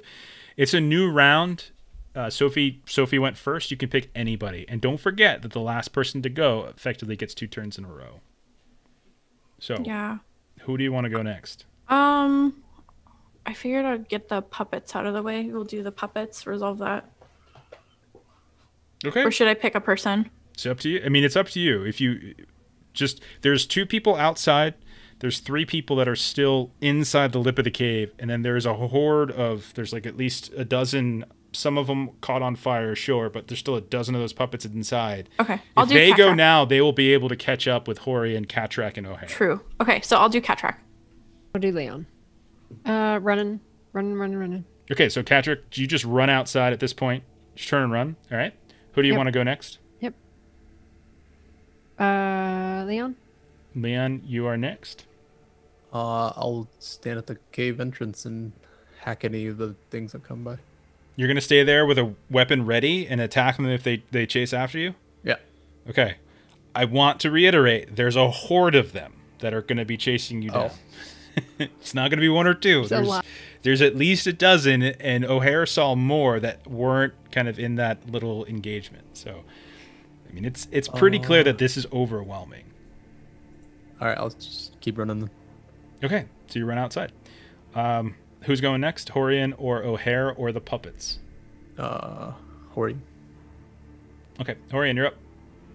All right, I'll move to get out of the cave, um, and I guess I wouldn't know what O'Hare's trying to do. Would I, uh, could I make some kind of like insight check to see if I think he's trying to like climb up or if he's trying to pull something down? It or seems, I, guess I, I would say it seems pretty clear that he's trying to, to, to collapse the cave opening. Okay, so then um, I'll run to O'Hare and I'll like pat him on the head and be like, "That's not a bad idea." Let me, let me, and I'll try and uh, pull it down as well and Okay. trap them in there at the fire. Roll a brawn. I'll say roll a brawn test. Um, but I'm not going to give you. Um, I'll, i since you're helping each other out, I'll do upper hand. But that cancels out the against the odds of how difficult this is, and he may he didn't pass his observation check. Which, so you the two of you managed to pull it down. the the the little kind of the lintel opening cracks a bit amazingly, and then everything starts to tumble down. Uh, the two of you want to stay here inside, or do you want to try to dive out? I'll dive out for sure, Okay. and then I'll pass my turn to O'Hare and let him Okay. wrap it up. So wits check to dive out. We'll treat it like an escape. Uh, and if you if you fail, you right. probably take it. You take some damage. O'Hare, what do you want to do? Uh. I'll dive out. Okay. Um, O'Hare, you actually you actually have your turn, so I, I won't necessarily make you make you have to do it. Um, actually, yeah, roll a wits check because it is kind of collapsing on you. But I'll give you upper hand since you were here first. Never mind. You rolled a twelve. You're good to go. The two of you go diving out. I want to stress that no one knows the motivation behind why O'Hare did that, but everything goes collapsing down. You see a couple of the hair puppets try to push past this this cave opening, but they get caught by this huge chunk of rock or a beam that falls on top of them. You can see they just get smothered and one after the other. They all just collapse underneath the granite and the rock and then after a couple moments the entire cave opening has now completely collapsed. No way in, no way out. None of the hair puppets make it out. All of you are outside. The ghosts in your heads are freaking out right now uh, about how well that's just ruining everything now. Very upset. But I think we're gonna stop there because it's almost yeah we're almost almost three hours at this point. We're gonna stop here, and we'll pick this up with part three, which will probably be the final part I think. Uh, so part three maybe next week if we can get everyone together. We'll see, uh, but we'll stop there. All right, Yay. O'Hare just looks like he had a brilliant idea. right? yeah, Hohrion's like, hey, that was a really good idea, O'Hare. I'm- I'm, proud of you. Uh, okay. Um, so yeah, let's uh, let's go ahead and close this stuff down. Thank you for everybody who hung out tonight and gave some bits and things. Uh, Justin, you do some streaming. Tell people uh, tell people where they can find you and what you you stream because I know you do some stuff. Uh, Twitch.tv slash Jehufa. And uh, I do a lot of World of Warcraft, but me and my boy Derek right there are about to go on an adventure to become the best Apex players of all time. And uh, It's true. It's very true. I've been told it helps raise my stonks. I don't know if that's correct. What's a Um, stonk? Um, I don't really know. I'm What's gonna help me with my stonks? Okay. So Fair enough. Uh, okay, then for the rest of us, you can find us here, twitch.tv slash lollygaggers. If you're watching this later on on YouTube, come check us out on Twitch. Follow us on Twitch. Uh, we got lots of stuff over uh, on our YouTube page as well. All of our past uh, uh, actual plays from a variety of different games. You can check us out. Uh, let's see. Uh, the next live game we have Melissa and I will be tomorrow morning. We'll be on Free League Publishing. Like I think it's like one central where we're going to be playing um, Forbidden Lands on. Let's see on Monday. Also on Free League Publishing, you can find us playing Vaesen. And then next week we're going to hopefully try to finish this game either on Friday or Saturday. Not sure yet. So catch us on tw- catch me on Twitter and you can kind of track it there. Um, but that's it for now. Just follow the channel, hang out, and we'll have more games up. Uh, I'm gonna go ahead and uh, throw a raid out to some of our friends. I think Defenders started, but they're not. Yep, they're up. I don't know why they're not showing up on my. There they are. Okay. Oh, prediction. So yes, how did Oh. the how did the prediction thing go? Like, is there? So I have to choose an outcome, yes or no. No one Did died. We kill. No one died. No one died. So I, I won. Long is given somebody twenty-four thousand nine hundred and There you twenty go. channel points. okay. So how does that work? You have that? You you you're you're working with I'm that? completing it now. Okay. I just got twelve thousand. yeah, nice. there was there was two of you, so it could split the That's pot. pretty cool. I like that. That's that's fun. Funny. That's that's pretty fun. I guess that makes sense because I do have infinity channel points, so I guess I can't That's get true. on the betting because that wouldn't be fair. I would definitely control the market. Uh, okay, um, I'm gonna go ahead and uh, put us Thanks, on everybody, the watching. end screen, and we're gonna raid the fenders, our friends over there. Uh, but thanks for everyone hanging out. Thanks for those of you who threw out some bits, uh, gift subs, all that kind of stuff. Uh, lots of fun, and we'll catch you next week. Uh, on the same channel and come watch Melissa and I in the next couple of days as we're on the Free League Publishing channel playing other games. So, good night, everybody. Bye bye. Natty night. Bye.